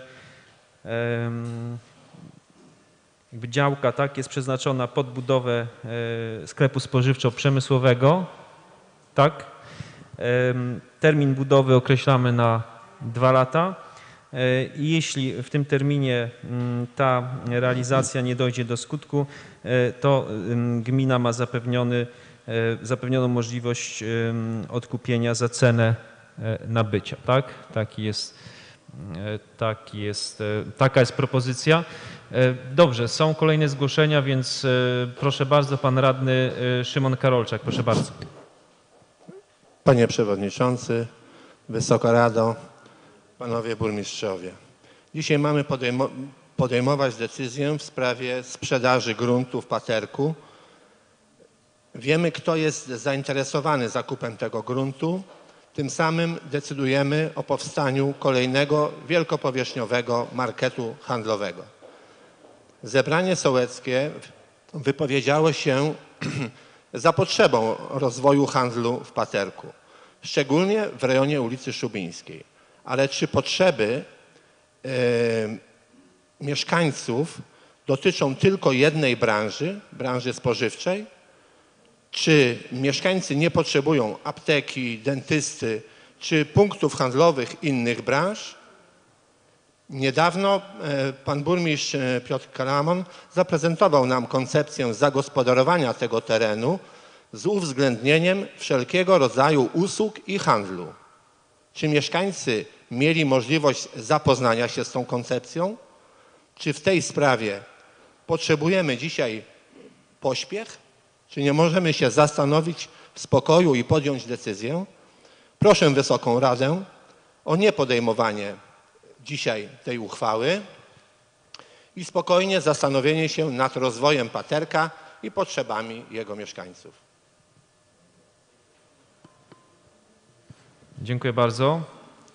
E, Jak rozumiem, głos w dyskusji to był, tak?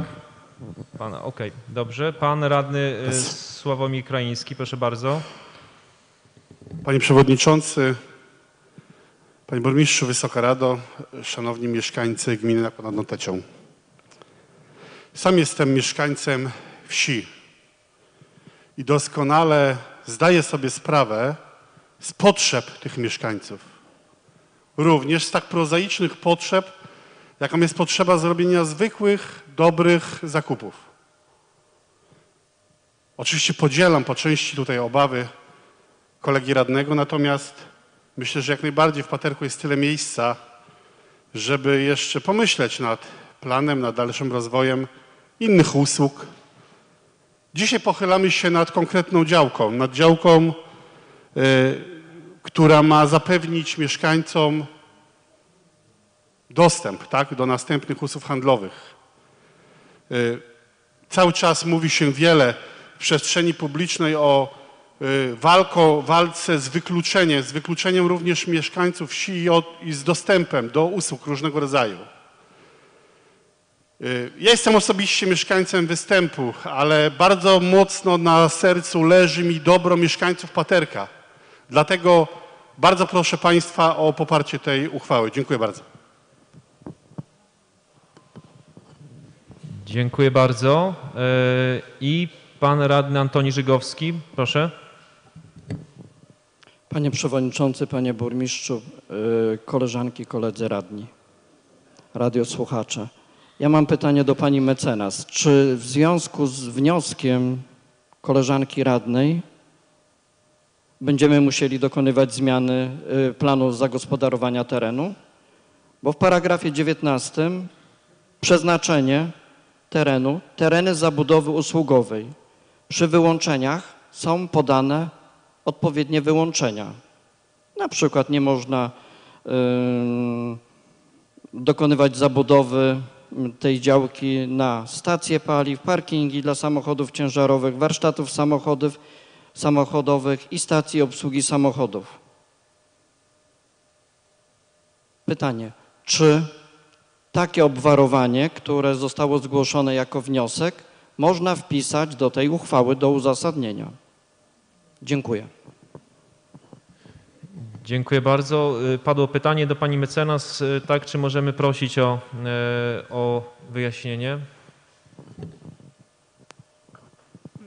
Sz- Szanowni Państwo, tutaj trzeba na wstępnie wskazać, iż w podstawie prawnej uchwały wskazujemy tylko przepis ustawy o gospodarce nieruchomościami, który legalizuje nam jedynie wyrażenie zgody na sprzedaż tej nieruchomości. Następnie trzeba wskazać, że ta nieruchomość będzie e, sprzedawana zgodnie z zasadami zawartymi w ustawie o gospodarce nieruchomościami. I takie ograniczenie, y, które tutaj y, wskazujemy w uzasadnieniu do uchwały, ono nam jedynie konkretyzuje treść ogłoszenia o przetargu. I w tym ogłoszeniu o przetargu, jeżeli dobrze rozumiem y, pytanie pana radnego, możemy skonkretyzować przeznaczenie tej nieruchomości, które y, zawiera się w y, opisie w miejscowym planie zagospodarowania przestrzennego. W tym momencie nie wykraczamy.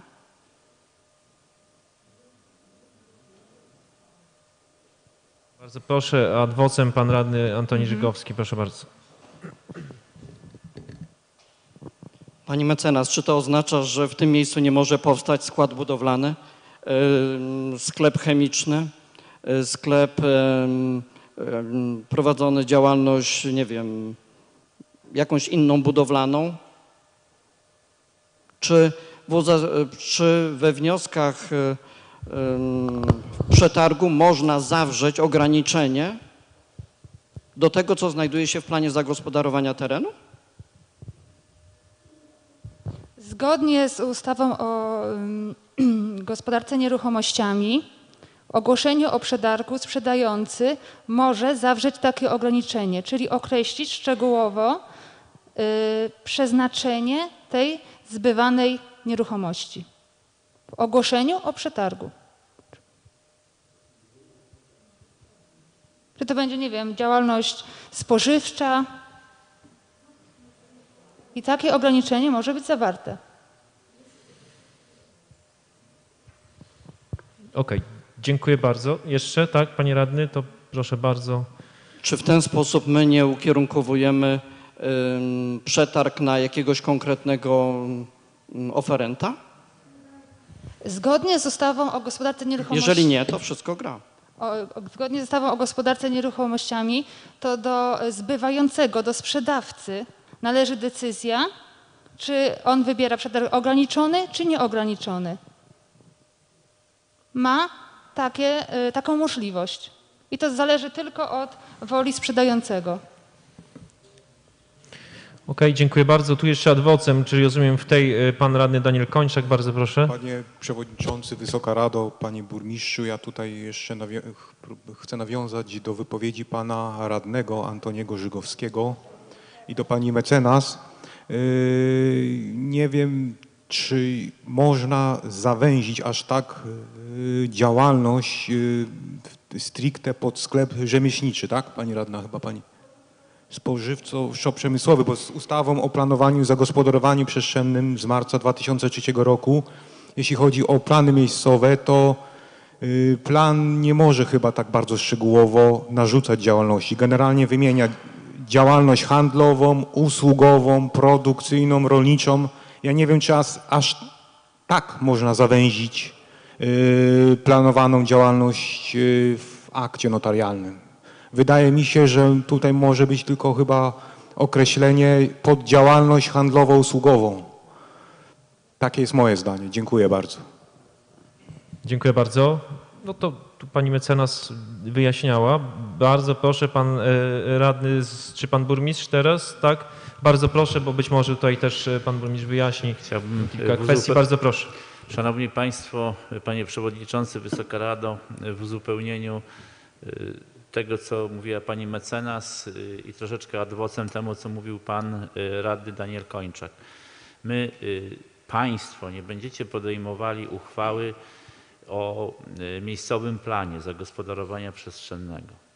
Państwo y, macie przed sobą projekt uchwały o przeznaczeniu lub nie, bo taka zgoda może być lub nie, y, to jest Państwa decyzja, wyrażeniu zgody na zbycie nieruchomości, która ma określone przeznaczenie w miejscowym planie zagospodarowania przestrzennego.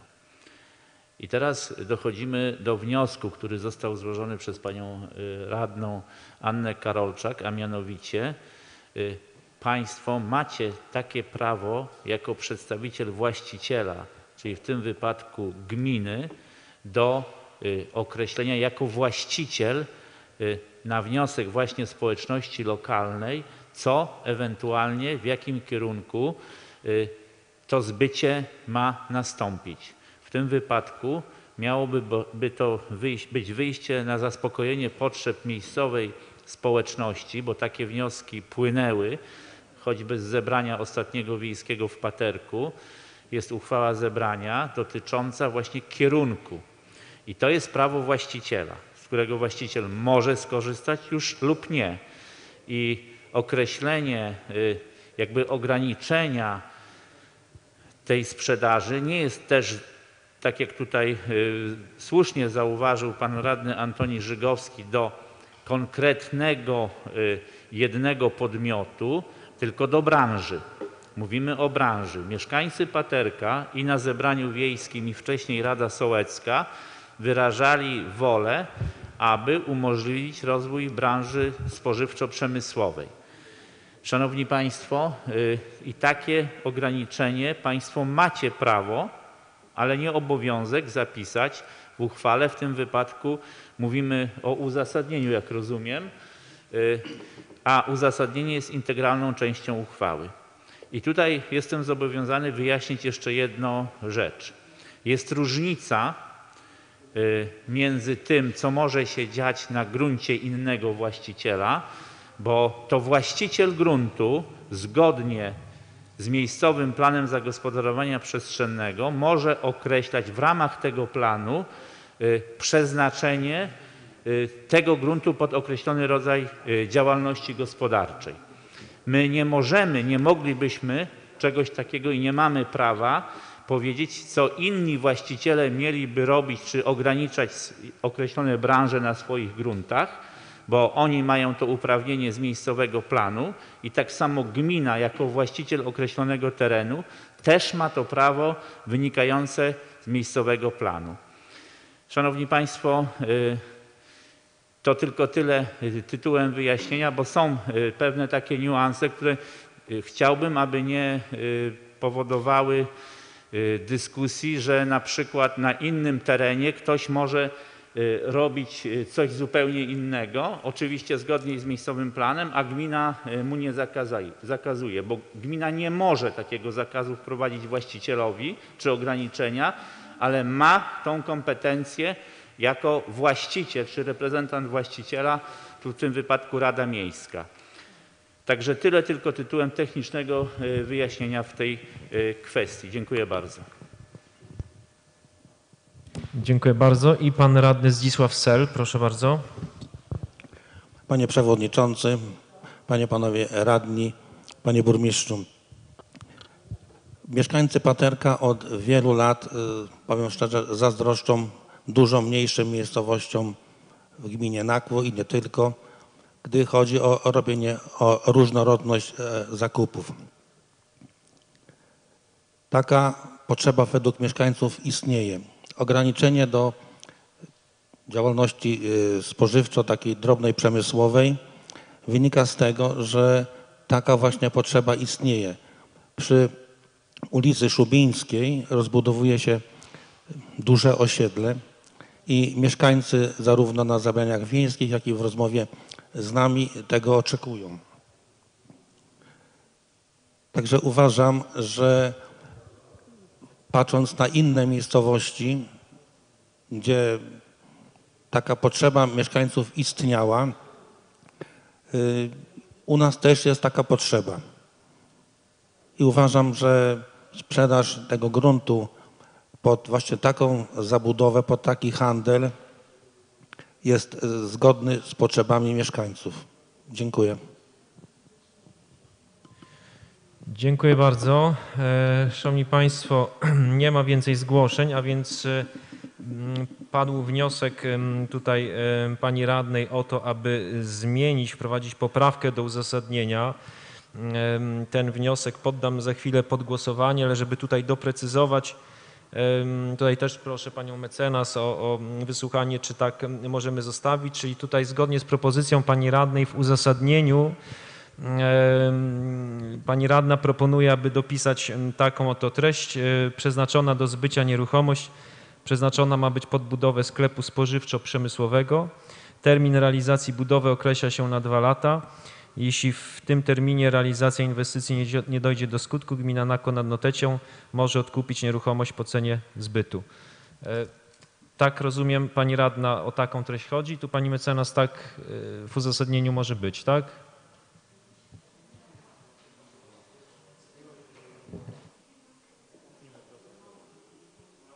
Przerwę? Dobrze. E, Szanowni Państwo, e, dwie minuty przerwy, tak, i e, doprecyzujemy tutaj zapis tego uzasadnienia i, i zaraz wniosek poddamy pod głosowanie.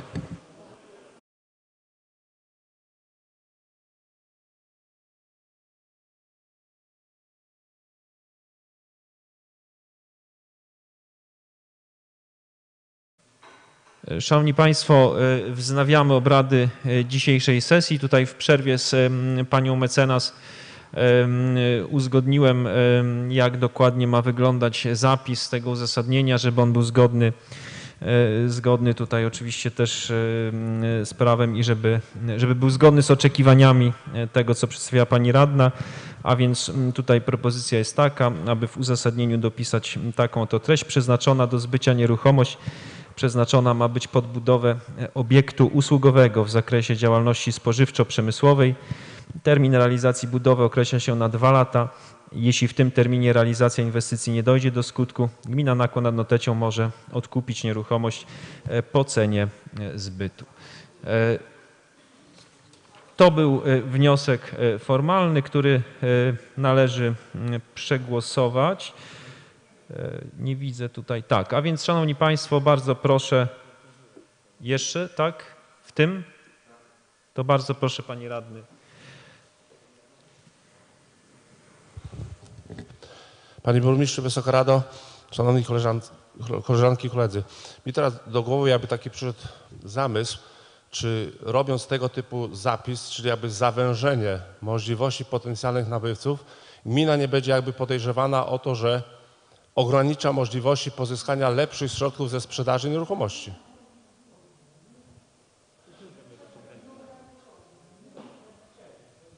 No tak, nieograniczony, ale zawężony w stosunku do ustawy, która mówi i plan miejscowy, że może być tylko usługi i działalność tego typu. To już jest y, w planie miejscowym określone. I teraz bardziej ograniczanie tego powoduje, że gmina by ogranicza krąg potencjalnych nabywców. Czy to nie może być jakby źle postrzegane? Dziękuję bardzo. Dziękuję bardzo. Szanowni Państwo, myślę, że tutaj było to już też wyjaśniane przez Panią mecenas i Pana Burmistrza. E, Myślę, że kluczowe jest też to, co tutaj padło, że tak naprawdę e, jakby no jest to e, wyjście na, mm, na te potrzeby i oczekiwania mieszkańców zgodnie z tym, co mieszkańcy wnioskowali, ale było to wyjaśniane, więc mm, proponuję, mm, myślę, że możemy tutaj dyskusję zamknąć, przejść do głosowania nad tym wnioskiem Pani Radnej. Bardzo proszę o e, umożliwienie głosowania. Kto z Pań Panów Radnych jest za wnioskiem, aby e, dopisać do uzasadnienia treść, którą przed chwilą Państwu e, przedstawiłem? Kto przeciw, kto wstrzymuje się od głosu?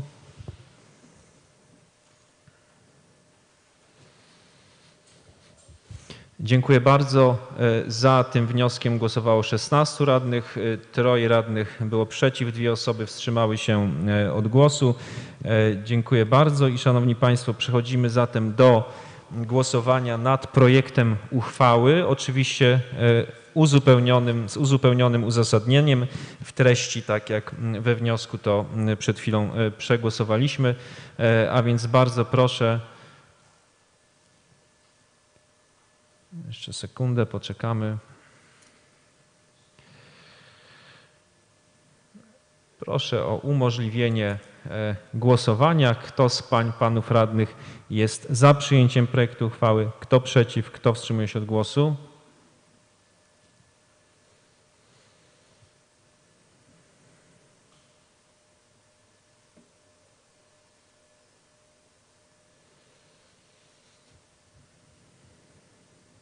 Dziękuję bardzo. Głosowało 21 radnych. Za przyjęciem projektu uchwały było 16 radnych. Trzy osoby mm, e, oddały głos przeciw i dwie osoby wstrzymały się od głosu. Stwierdzam, że uchwała została e, przyjęta.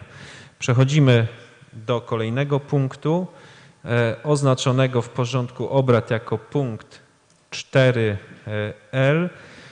Jest to e, projekt uchwały Rady Miejskiej w Nakle nad Notecią w sprawie wyrażenia zgody na zawarcie przez burmistrza miasta i gminy Nakło nad Notecią umowy dzierżawy w trybie bezprzetargowym.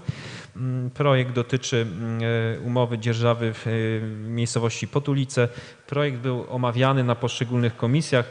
Czy w tym momencie są pytania bądź uwagi do tego projektu? Nie widzę, e, a więc możemy przejść do głosowania. Kto z pań, panów radnych jest za przyjęciem projektu uchwały? Kto przeciw? Kto wstrzymuje się od głosu?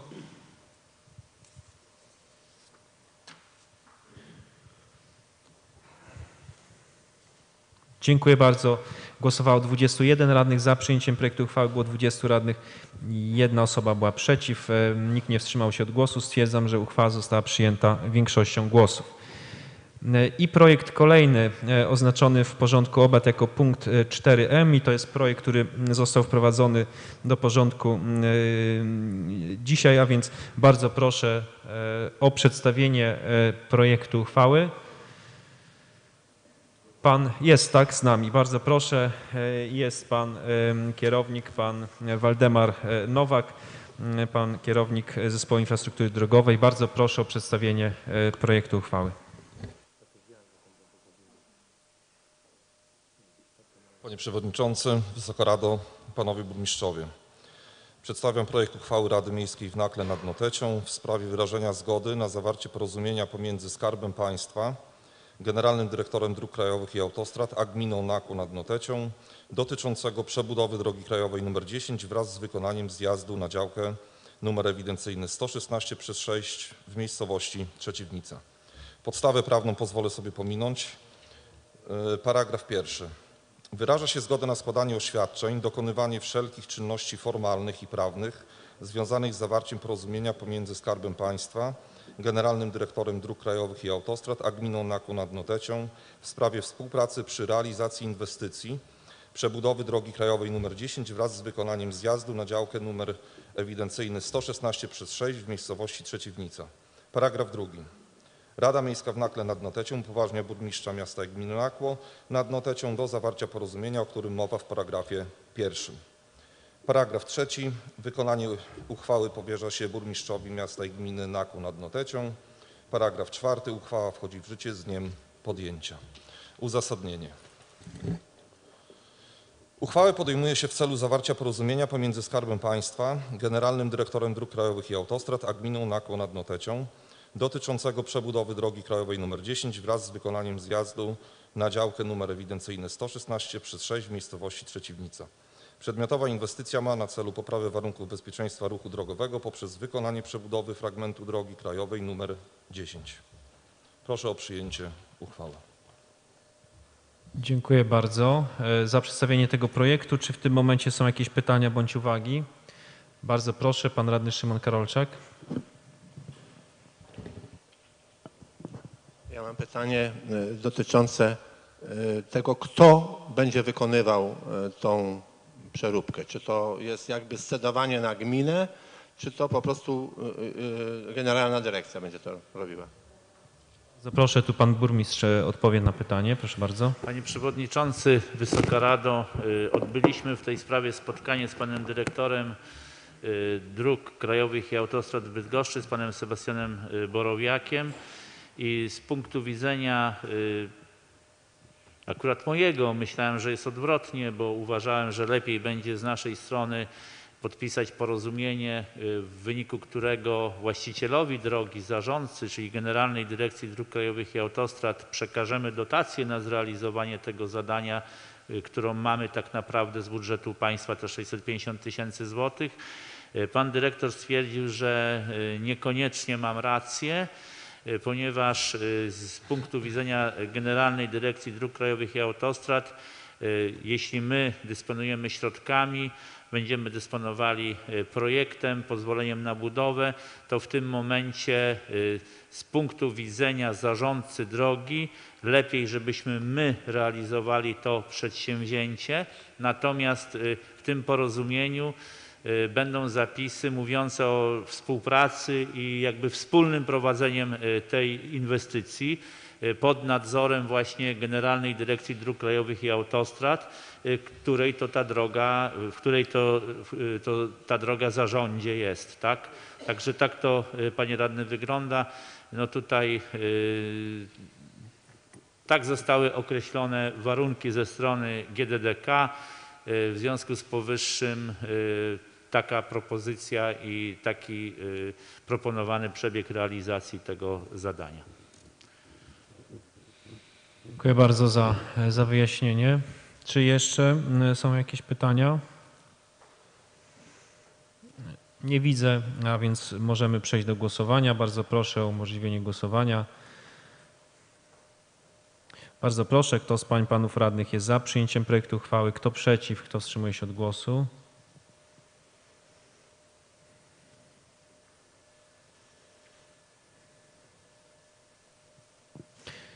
Dziękuję bardzo. Głosowało 21 radnych za przyjęciem projektu uchwały. Było 20 radnych, głosów przeciw nie było. Jedna osoba wstrzymała się od głosu. Stwierdzam, że uchwała została przyjęta większością głosów. Dziękuję bardzo Dziękuję. za e, przedstawienie e, projektu uchwały. E, Szanowni Państwo, Panie i Panowie Radni, bardzo dziękuję za głosowania. Wyczerpaliśmy e, tym samym ten punkt czwarty dotyczący podjęcia e, uchwał. Przechodzimy do punktu piątego. Punkt piąty, czyli analiza kosztów funkcjonowania systemu gospodarki odpadami na terenie miasta i gminy Nakło nad Notecią. E, Podobnie jak e, projekty uchwał, również e, ta analiza kosztów funkcjonowania systemu gospodarki odpadami na terenie naszej gminy była szczegółowo omawiana na wszystkich komisjach. Temat ten omawiała pani dyrektor Wydziału, pani Anna Nowak. Czy w tym momencie są jeszcze jakieś pytania bądź, bądź uwagi?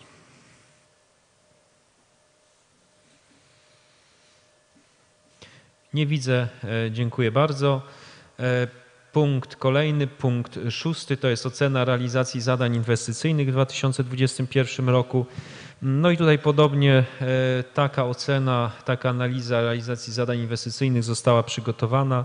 Mm, e, Ten, to zagadnienie było omawiane na wszystkich, również na wszystkich komisjach, między innymi przez pana zastępcę burmistrza Krzysztofa Bońskiego oraz panią inspektor Monikę Rudnicką. Czy w tym momencie są jakieś e, pytania bądź uwagi do tej oceny? Nie widzę. Dziękuję również e, za. e, Przechodzimy więc do kolejnego, siódmego punktu. To jest punkt sprawy bieżące Rady Miejskiej w Nakle nad Notecią, m, w tym informacje o złożonych w okresie międzysesyjnym interpelacjach e, i zapytaniach. E, I tu, Szanowni Państwo, informuję, iż do Biura Rady nie wpłynęła żadna interpelacja ani zapytanie złożone na piśmie. Czy w tym momencie ktoś z Państwa chciałby złożyć na piśmie interpelację bądź zapytanie? Nie widzę, e, więc możemy przejść do tych spraw e, bieżących Rady. E, Tutaj tradycyjnie oczywiście w tym sprawozdaniu pana burmistrza pojawiły się informacje również, które dotyczyły udziału radnych Rady Miejskiej w Nakle nad Notecią w różnych uroczystościach, em, inicjatywach, e, przedsięwzięciach. E, Chciałbym zwrócić tutaj uwagę na te najważniejsze. I tak e, no, w tym okresie międzysesyjnym 4 e, października e, pani radna Ewa Haberska uczestniczyła mm, w siódmej e, sesji plenarnej Obywatelskiego Parlamentu Seniora w Senacie Rzeczpospolitej Polskiej. reprezentując Nakielko- Nakielską Radę Seniorów jako e, przewodnicząca e, tej Nakielskiej Rady, e, Rady Seniorów. E, 5 października e, miałem przyjemność e, uczestniczenia w inauguracji e, roku akademickiego Uniwersytetu Trzeciego Wieku. Bardzo dziękuję za to zaproszenie. E, Wraz ze mną e, również była pani e, radna Ewa Haberska, była również pani radna Mieczysława Palicka. M, Przekazałem e, w imieniu całej Rady Miejskiej e, gratulacje i e, życzenia e, udanego roku, e, roku akademickiego. E, 7 października e, w Muzeum Ziemi Krajeńskiej w Nakle na Notecią nastąpiło uroczyste wręczenie nagród za udział w konkursie plastycznym e, pod tytułem Zrównoważona mobilność w naszym mieście. I tutaj te nagrody, tak, i udział brała w tym wydarzeniu pani przewodnicząca Monika Młynarczyk. Idąc dalej, e, 15 października, no oczywiście wydarzenie, o którym pan burmistrz mówił w swoim sprawozdaniu, a więc e, dwudziestolecie nadania szkole podstawowej e, numer 2 e, imienia e, kardynała Stefana Wyszyńskiego, prymasa tysiąclecia. Radni Rady Miejskiej brali udział również w tym wydarzeniu na czele z panią przewodniczącą, panią e, Jolantą e, Tadych e, która również w imieniu Rady Miejskiej złożyła e, gratulacje e, z okazji tej, tej uroczystości. 15 października odbyły się również e, obchody Dnia Edukacji Narodowej. Mm, e, Miałem również przyjemność e, wziąć udział w, w tych obchodach. Mm, e, Również tutaj w tych uroczystościach brali udział licznie radni Rady Miejskiej, e, między innymi z przewodniczącym Komisji Edukacji, panem radnym Janem Grabarskim.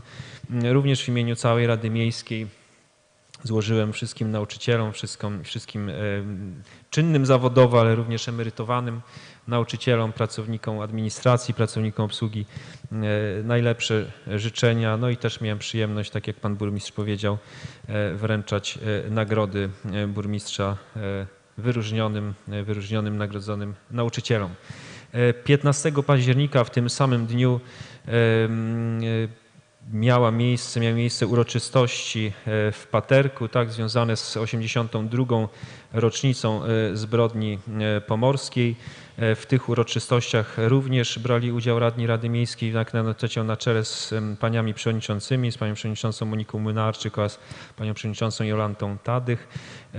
No, tu też warto podkreślić, że mm, wśród organizatorów tej uroczystości są też radni, pani radna Anna Karolczak, pani radna Mieczysława Palicka i pan radny Zdzisław Sel. Em, 16 października e, odbył się turniej e, piłki siatkowej nauczycieli imienia Lucjana Dąbka z okazji Dnia Edukacji Narodowej. Tutaj e, otwarcia uroczystości wraz z panem dyrektorem zespołu szkół żeglugi śródlądowej dokonał pan e, radny Jan Grabalski, przewodniczący Komisji e, Edukacji. E, 26 października e, w Nakielskim Ośrodku Kultury odbyło się spotkanie z okazji Dnia Seniora i tutaj również w tym spotkaniu brały udział pani e, radna Habelska, przewodnicząca Nakielskiej Rady Seniorów i pani radna Mieczysława e, Palicka. To tyle z tych najważniejszych uroczystości, wydarzeń. Mam nadzieję, że tutaj nie pominąłem, ale jeśli to na pewno w tym sprawozdaniu mm, też, e, też było. E, I teraz, e, jak jesteśmy już przy tych sprawach bieżących Rady Miejskiej, chciałbym jeszcze przekazać Państwu informację, bo jak pamiętacie Państwo, wpłynął kilka miesięcy temu do Rady Miejskiej wniosek w sprawie powołania Młodzieżowej Rady Miejskiej. Ja zgodnie z prośbą i rekomendacjami e, Państwa e, radnych e, zostało wysłane takie zapytanie do wszystkich szkół na terenie, działających na terenie gminy Nakło nad Notecią z pytanie właśnie, czy szkoły, czy samorządy uczniowskie są zainteresowane taką inicjatywą i czy, czy wyrażają tutaj gotowość, poparcie dla tej inicjatywy.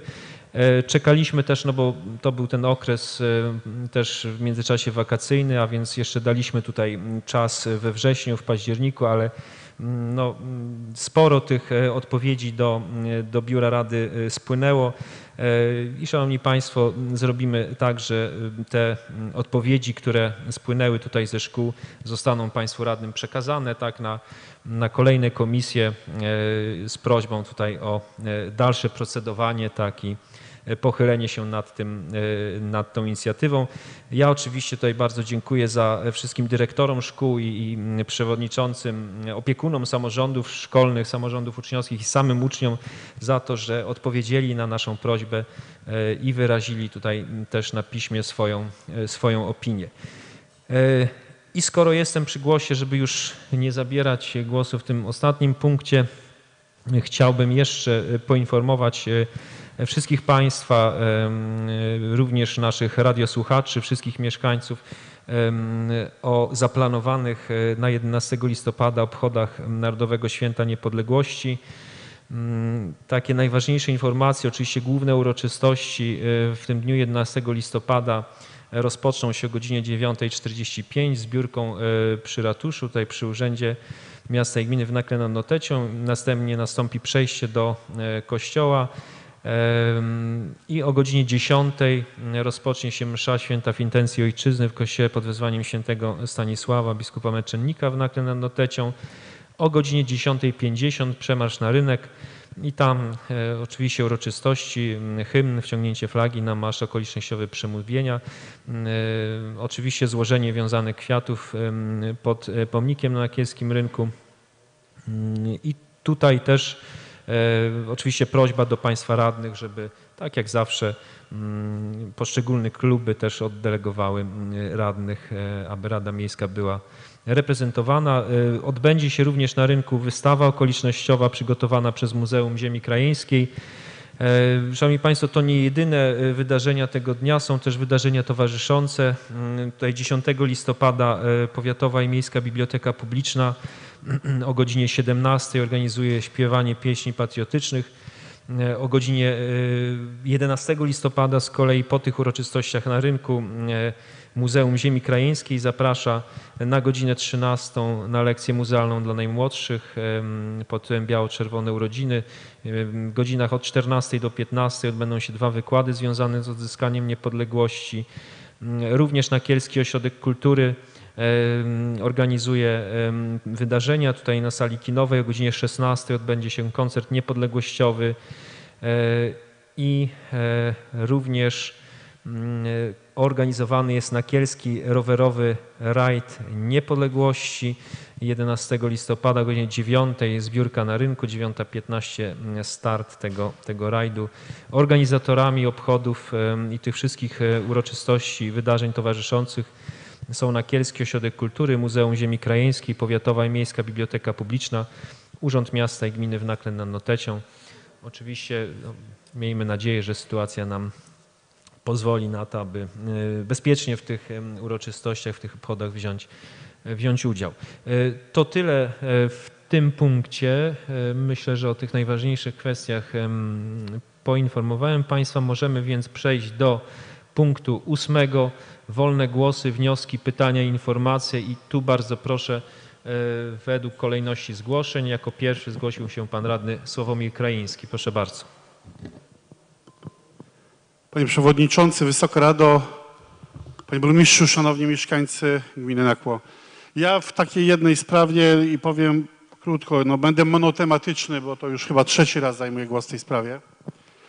E, Proszę Państwa, e, chciałem zapytać, czy coś się dzieje w kwestii, bo prosiłem o to, powołania zespołu pomiędzy gminą Nakło, starostwem, czy ze starostwa jakieś sygnały mamy, powołanie zespołu do sprawy rozwiązania problemów z zabezpieczeniem e, mieszkańców, dzieci również w tym szczególnie, w miejscowości Gorzeń, chodzi o przystanek oraz kwestia przejścia dla pieszych w występie.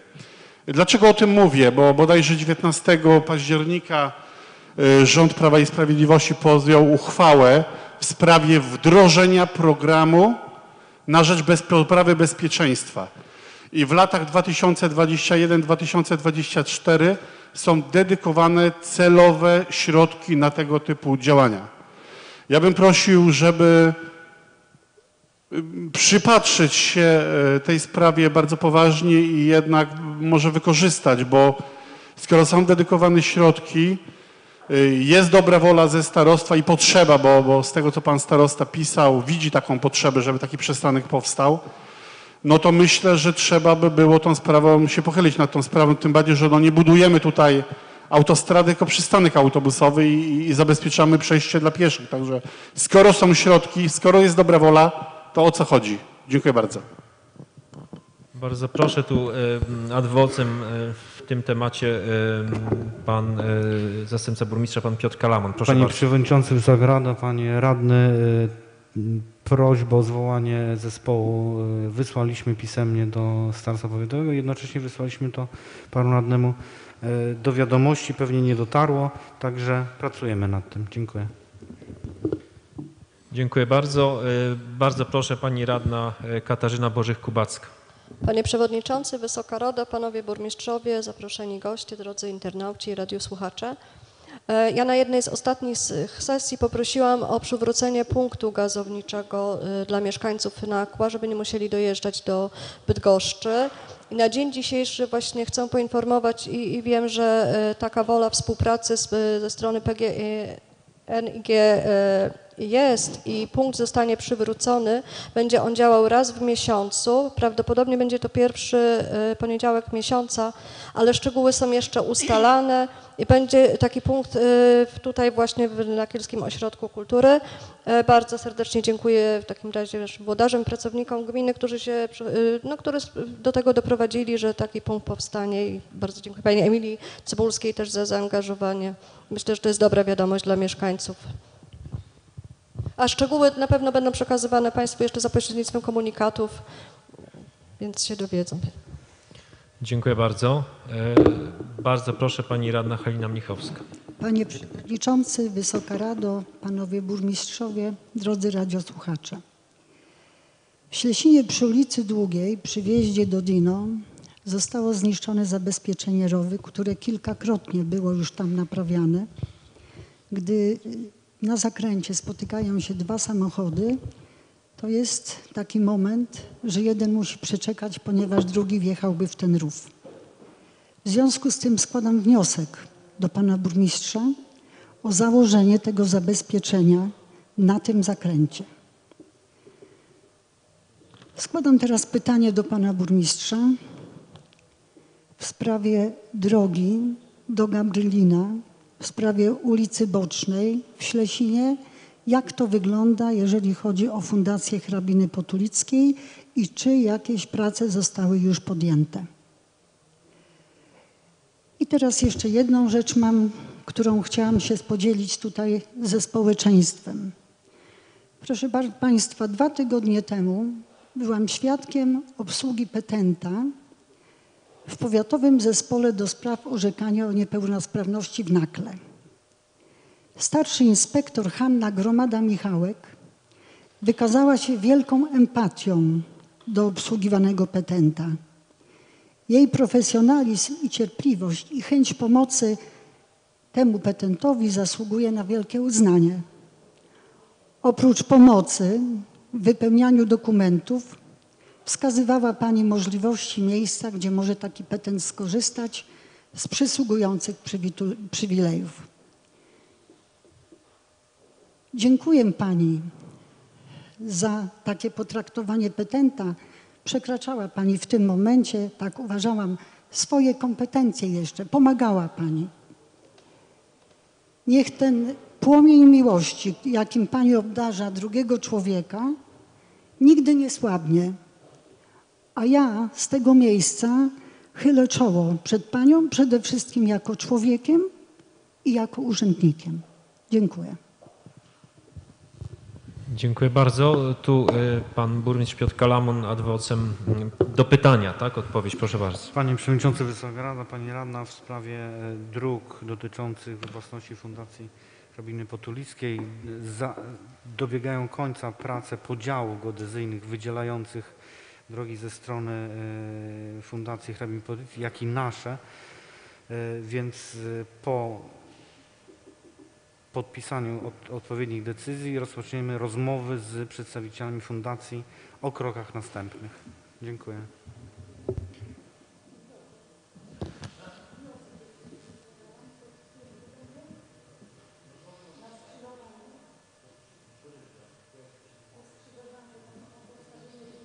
Tak, oczywiście ten wniosek będzie realizowany. Dziękuję bardzo. E, Bardzo proszę, pan radny Daniel Kończak. Panie Przewodniczący, Wysoka Rado, Panie Burmistrzu, e, mieszkańcy ulicy Mroteckiej coraz częściej zwracają się do mnie, żebym coś zrobił z bezpieczeństwem na tej ulicy. Dla, dlaczego? Dlatego, że kierowcy bardzo często zaczynają tą ulicę traktować jako tor wyścigowy i w związku z tym mam, Panie Burmistrzu, taką prośbę do Pana, aby tutaj urząd podjął jakieś możliwe środki, jak na przykład zaproponował, nie wiem, montaż fotoradaru, żeby naprawdę poprawić bezpieczeństwo przy tej ulicy. Tam dobrze pan burmistrz wie, znajduje się zespół szkolno-przedszkolny numer 3. Tam są dzieci i boję się, że kiedyś może faktycznie dojść do jakiejś tragedii. Nie? Zre- Zresztą y, do mnie apelowała też sama pani dyrektor, pani Hanna Lubiszewska. Poprosiła, że mogę się na nią powołać, że z nią odbyłem taką rozmowę, żeby tutaj ze strony organu y, padło jakieś mm, rozwiązanie tej sytuacji. Dziękuję bardzo.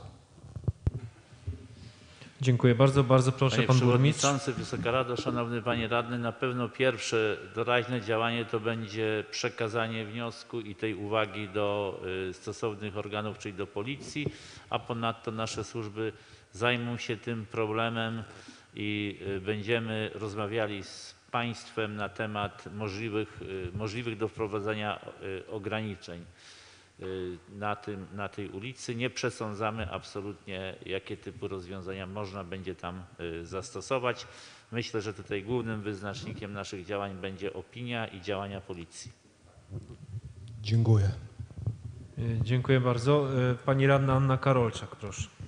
Y, Panie Przewodniczący, koleżanki i koledzy radni, Panie Burmistrzu, radiosłuchacze i internauci. W imieniu organizatorów obchodów 82. rocznicy pamięci ofiar zbrodni w Paterku chciałabym bardzo podziękować za pomoc, za życzliwość, za dostępność organizacji tego przedsięwzięcia paniom Annie Nowak, Annie Kloska, panu, Micha, panu Michałowi Dubkowskiemu, Tomaszowi Pasieka, Jarosławowi Derusowi, Maciejowi Łuczakowi, Krzysztofowi Kopiszka oraz panom z działu promocji Tomaszowi Rogackiemu, Szymonowi Niemczeskiemu i strażakom z Paterka. Również bardzo dziękujemy panu burmistrzowi Sławomirowi Napierała za objęcie patronatem tego wydarzenia. Dziękuję. Dziękuję bardzo. Y, Pan radny Dariusz Domek. Panie Przewodniczący, Wysoka Rado, Panie Burmistrzu, mam pytanie dotyczące e, starego budynku po dawnym barze Kubuś w Potulicach. Budynek ten znajduje się na gminnej działce 13 na 109 i od dłuższego czasu jest w bardzo złym stanie technicznym. Jego wygląd źle wpływa na estetykę naszej miejscowości Potulice. I mam pytanie, jakie do tej pory gmina podjęła działania w tej sprawie i jakie są plany na przyszłość dotyczące wykorzystania terenu na tej działce? Dziękuję. I Poproszę o odpowiedź tutaj na piśmie. Dziękuję bardzo. Pan y, bur... Nie, bo na piśmie. Okej, rozumiem. Y, Pan radny Zdzisław Sel, bardzo proszę. Panie Przewodniczący, Panie, Panowie Radni, Panie Burmistrzu. W imieniu Pani Dyrektor Zespołu Szkolno-Przedszkolnego w Paterku Aliny Sławkowskiej, księdza proboszcza Mariusza Zbieranka, Pani Ani Lewandowicz, nas tutaj radnych, chciałem, przy, mam przyjemność zaprosić na koncert pieśni patriotycznych Moja Niepodległa, który odbędzie się 11 listopada o godzinie 10 w kościele pod wezwaniem Matki Boskiej Bolesnej w Paterku. O 10 będzie godzina, będzie msza święta, 10.40 koncert Moja Niepodległa w wykonaniu uczniów Szkoły Podstawowej w Paterku oraz zespołu BAS. O 11.20 przemarsz do pomnika powstańców wielkopolskich i złożenie kwiatów. Patronat objął burmistrz miasta Inakła nad Notecią, pan Sławomir Napierała. Szczególnie zapraszamy mieszkańców Paterka do tej uroczystości, również radnych. Dziękuję. Dziękuję bardzo. E, Pan radny Sławomir Krajiński, proszę bardzo. Panie Przewodniczący, Panie Burmistrzu, Wysoka Rado, e, Szanowni Mieszkańcy Gmin Nakło. Ja króciutko, bo umknęła mi jedna też ważna rzecz, którą chciałem z Państwem tutaj przedyskutować. Oczywiście chodzi o bezpieczeństwo dalej, dlatego zająłem ten głos teraz. E, Od jakiegoś czasu e, bardzo często powtarzają się incydenty, mówimy o wypadkach drogowych, na trzech odcinkach leśnych. To znaczy chodzi o odcinek e, pomiędzy Łochowem, a tutaj Kazimierzewo i tak dalej. Pierwszy przy lesie, odcinek po Tulicach przy lesie, szczególnie tutaj po tej stronie przeciwległej do ścieżki pieszo-rowerowej, gdzie las przylega bezpośrednio do, do jezdni oraz e, pomiędzy Potulicami e, a występem również po prawej stronie, jak jedziemy w kierunku występu z Bydgoszczy. Rzeczywiście tam tych wypadków chyba nie ma tygodnia, żeby zwierzyna, że tak powiem, nie powodowała zagrożenia. Ja sobie zdaję sprawę z tego, że to jest droga rangi powiatowej, ale siatka leśna nie jest droga i czy ewentualnie tutaj kompetencje, nie wiem kogo by były, czy nadleśnictwa, czy ewentualnie y, zarządu dróg powiatowych, czy można by było chociaż w jakiś sposób może ograniczyć tą migrację, ponieważ no, te wypadki są i to ich jest coraz więcej. Dlatego ja widzę, jak leży zwierzyna, zanim ją usuną, a jednak tam troszkę zalega. I to jest bardzo niebezpieczne. Dlatego bym prosił, jak już będziemy kontaktowali się, rozmawiali pomiędzy urzędami w sprawie poprawy bezpieczeństwa, żeby tę kwestię również podjąć. Bardzo serdecznie dziękuję. Dziękuję bardzo. E, I pan radny Jan Marciniak, proszę. Panie Przewodniczący, Wysoka Rado, Panie Burmistrzu. Ja mam taką sprawę. Niejednokrotnie przy inwestycjach, czasami nawet jako uczestniczący w odbiorach tych inwestycji, podkreślałem ważność nadzoru, inspektorów nadzoru w trakcie realizacji poszczególnych zadań. Ja w tym kontekście chciałbym bardzo serdecznie podziękować inspektorowi panu Jackowi Jankowskiemu z Urzędu Gminy za bardzo szybką i skuteczną interwencję w trakcie realizacji budowy ulicy Wzgórze Wodociągowe. Mimo tego, że y, zadanie to nie było jakby w obowiązkach gminy, bo to jakby inna firma wykonywała zadanie, ale widząc pracownika, który tam to wykonywał, tylko szybka interwencja spowodowała to, pana Jacka, że w dalszej realizacji tej inwestycji mogłoby dojść do wielkiej katastrofy. I dlatego ja po raz kolejny podkreślam, jak ważna jest rola inspektora, który kontroluje re- realizację pewnych zadań w poszczególnych ich etapach. I ja uważam, że naprawdę w tym momencie nie możemy za bardzo oszczędzać, iść na najniższą ocenę, najniższą ofertę, bo to się później może skończyć wielkimi y, konsekwencjami. Dlatego jeszcze raz bardzo serdecznie dziękuję panu Jackowi i jakby pod rozwagę na przyszłość urzędowi o wybór inspektorów nadzoru, bo są bardzo ważne osoby, które muszą wiedzieć, jaką odpowiedzialność na siebie biorą. Dziękuję bardzo. Proszę bardzo, tu ad vocem pan burmistrz, proszę. Panie Przewodniczący, Wysoka Rado, ja bardzo dziękuję panu radnemu Janowi Marciniakowi za ten głos potwierdzający y, pewien kierunek działań, który staramy się y, przyjmować, y, bowiem y, chcę powiedzieć, że w zasobach naszych kadrowych, szczególnie w Wydziale Inwestycji, ale nie tylko, posiadamy osoby, co jest unikatem w skali samorządów, z uprawnieniami budowlanymi, również pełnymi uprawnieniami, czy to w zakresie budowy dróg, czy to w zakresie budowy kubaturowej. I na tyle, na ile to jest możliwe, będzie możliwe i oczywiście zgodnie z ich kompetencjami będziemy starali się i wdrażali system nadzoru wewnętrznego albo inaczej sprawowanego przez naszych y, wykwalifikowanych y, pracowników, żeby uniknąć bardzo często, y, mówiąc wprost, tej tak zwanej najniższej ceny, cokolwiek by się pod tym y, pojęciem nie kryło, y, a zapewnić sobie y, rzetelny nadzór nad y, pracami. Oczywiście nie będzie to możliwe zawsze, bo y, też nie jesteśmy w stanie, żeby nasi y, pracownicy objęli takim gruntownym nadzorem wszystkie inwestycje, których jest dość duża mnogość.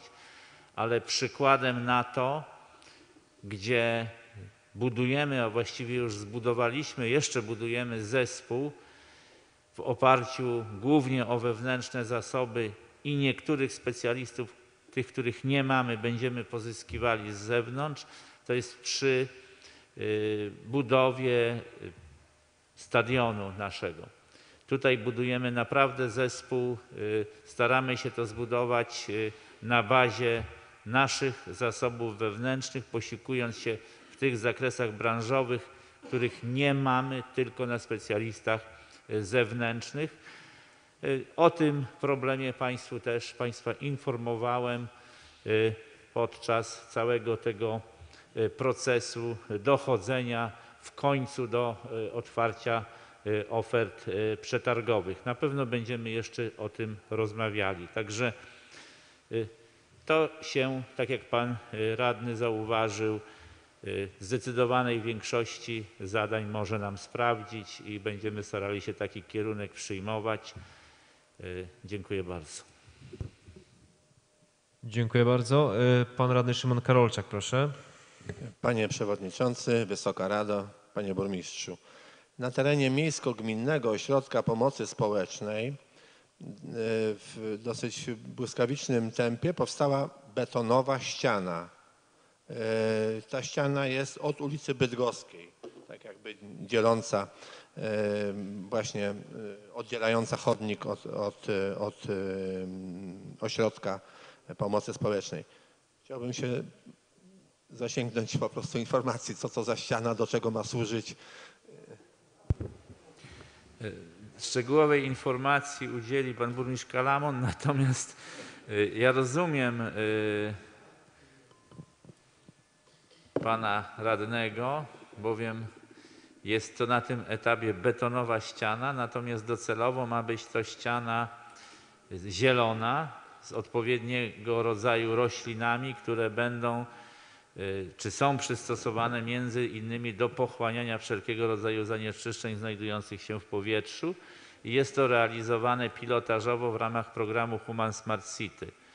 Taki, to, jest, y, to są nowatorskie rozwiązania właśnie, tak jak dzisiaj Państwo pytaliście, w ramach y, y, miast tak zwanych smart, y, dążących do nowoczesnych technologii y, oczyszczania powietrza z wykorzystaniem roślinności naturalnej, aczkolwiek, i to też trzeba zauważyć, te technologie bardzo nowoczesne, y, bardzo na czasie preferowane, y, wzbudzają również pewnego rodzaju uwagi czy zastanowienie się, tak jak pana radnego, również moje, bo myślę, że Myślę, że też będą inne technologie nie wymagające y, stawiania y, takich y, betonowych ścian. Natomiast, Szanowni Państwo, my tutaj nie odkrywamy niczego nowego.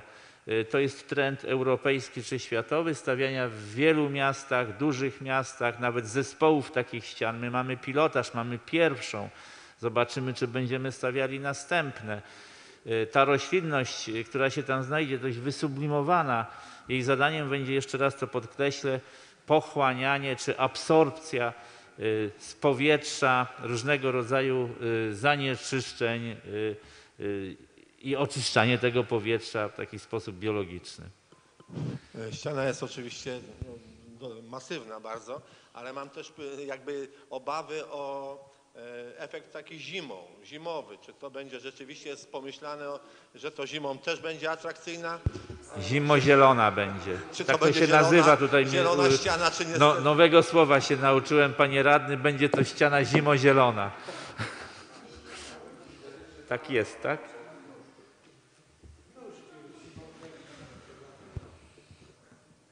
Dzie- Dziękuję bardzo. E, Zostało wyjaśnione. Tak, no, tylko pochwalić e, pomysł. Faktycznie to, co pan burmistrz mówił, no, E, Też e, zachęcam do tego, żeby wykorzystywać istniejącą już infrastrukturę i budynki, budowle, które już są, tak jak pan radny powiedział, bez potrzeby budowania nowych, zielone ściany, zielone dachy, to faktycznie ten trend, w którym powinniśmy iść. Pan radny Dariusz Domek, proszę bardzo. Panie Przewodniczący, Wysoka Rado, Panie Burmistrzu, chciałbym jeszcze tym punkcie porządku obrad podziękować Panu Burmistrzowi i służbom drogowym gminy za utworzenie dodatkowego zjazdu z drogi powiatowej na nowe osiedle w Potulicach. Była to sprawa wyczekiwana przez mieszkańców, brakowało tego zjazdu, a nowe osiedle w Potulicach się rozrasta, mieszka tam e, coraz więcej osób, no i te działania również wpłyną na poprawę bezpieczeństwa w tym obszarze. Jeszcze raz dziękuję. Dziękuję bardzo. E, I pan radny Kazimierz Wnuk, proszę. Panie Przewodniczący, Szanowni Radni, Panowie Burmistrzowie, myślę, że już jako ostatni w tym punkcie zabieram głos. Y, Otóż sporym nakładem sił i środków gmina wybudowała parking przy ulicy Nowej w Nakle za torami i za dworcem PKP. By ten obiekt y, spełniał swoje zadanie i był w pełni wykorzystany, Konieczne jest wybudowanie podziemnego przejścia, czyli tunelu łączącego parking z dworcem PKP, jak również z wyjściem na ulicę Dworcową. Szczególnie teraz, kiedy jest remontowana ulica Geperta, widzimy, jaki jest brak miejsc parkingowych. Robi się bardzo, bardzo tłoczno i no nie mają gdzie samochody parkować, a wiadomo, dworzec PKP często uczęszczany i mam nadzieję, że będzie w przyszłości jeszcze bardziej odwiedzany. Także, panie burmistrzu, pytanie, czy coś wiadomo w tym temacie? Dziękuję.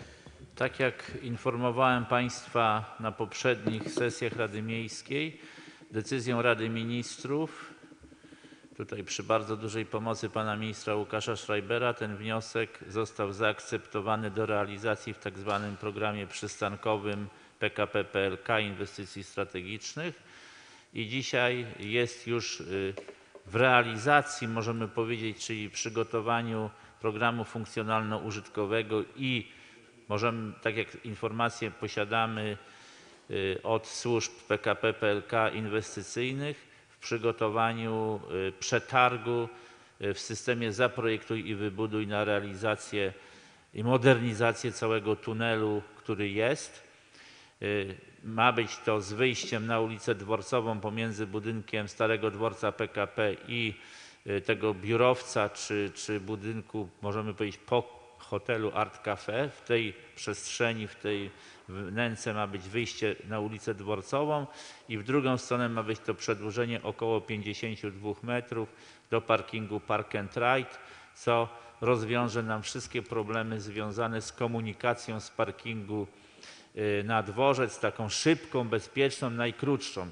Aczkolwiek y, miejsca parkingowe są. To jest tylko kwestia no, przejścia niestety dzisiaj przez y, chodnik i przejazd, dla, y, i przejazd kolejowy y, albo kładką nad torami, albo jeśli są y, rogatki podniesione, normalnie można przejść tam y, na ulicę, z ulicy, y, z naszego parkingu na y, ulicę Dworcową.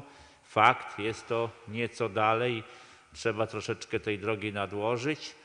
No ale jak powiedzieli mi również mieszkańcy osiedla Boles- Bolesława Chrobrego, nie są to odległości nie do pokonania, jeśli spojrzy się na odległości z parkingów y, do choćby na rynki czy, czy na ulice w innych dużych miastach. Spójrzcie Państwo na Bydgoszcz, na parking wielopoziomowy, który obsługuje całe centrum miasta, czy już nie, nie wspomnę o Poznaniu, gdzie w ogóle do centrum miasta żadne samochody się dzisiaj praktycznie już nie zbliżą.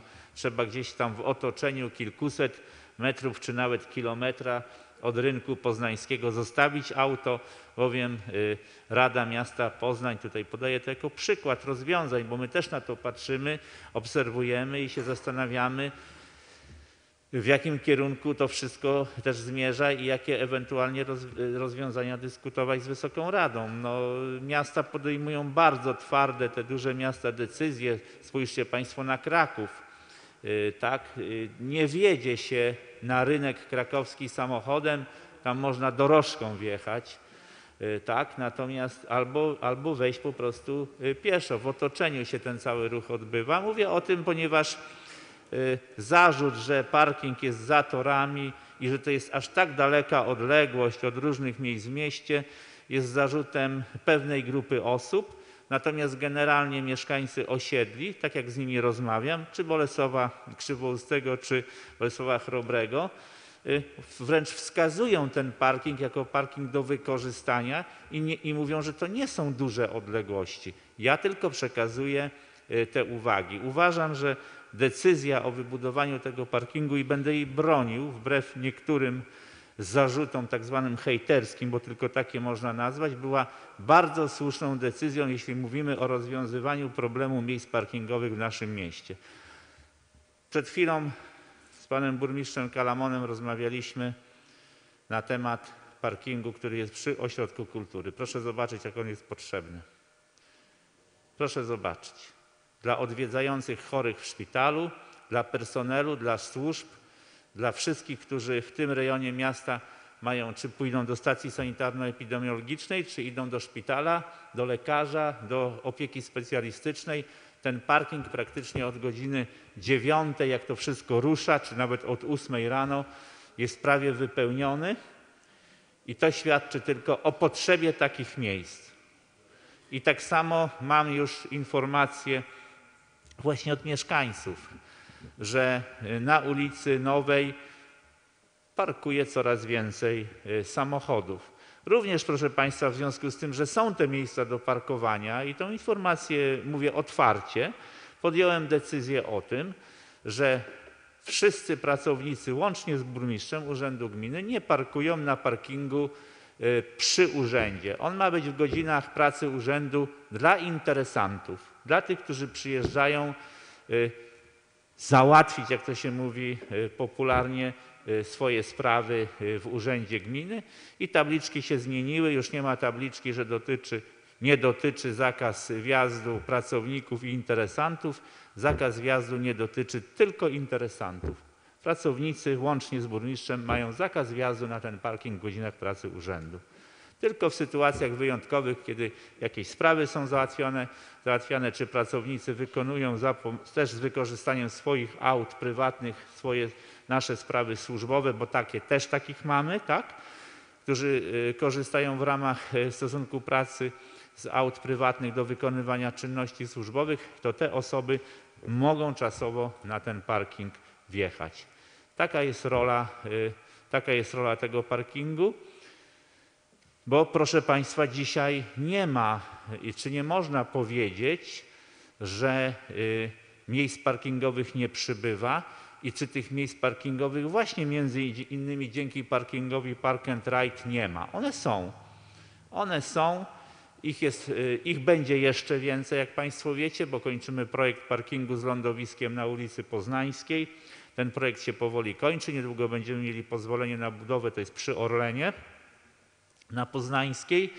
Y, Za chwilę y, uzyskamy pozwolenie na budowę na centrum rekreacyjno-handlowe przy ulicy Gimnazjalnej, łącznie około 60, a może nawet więcej, w tej chwili nie, nie, ponad 60 miejscami parkingowymi.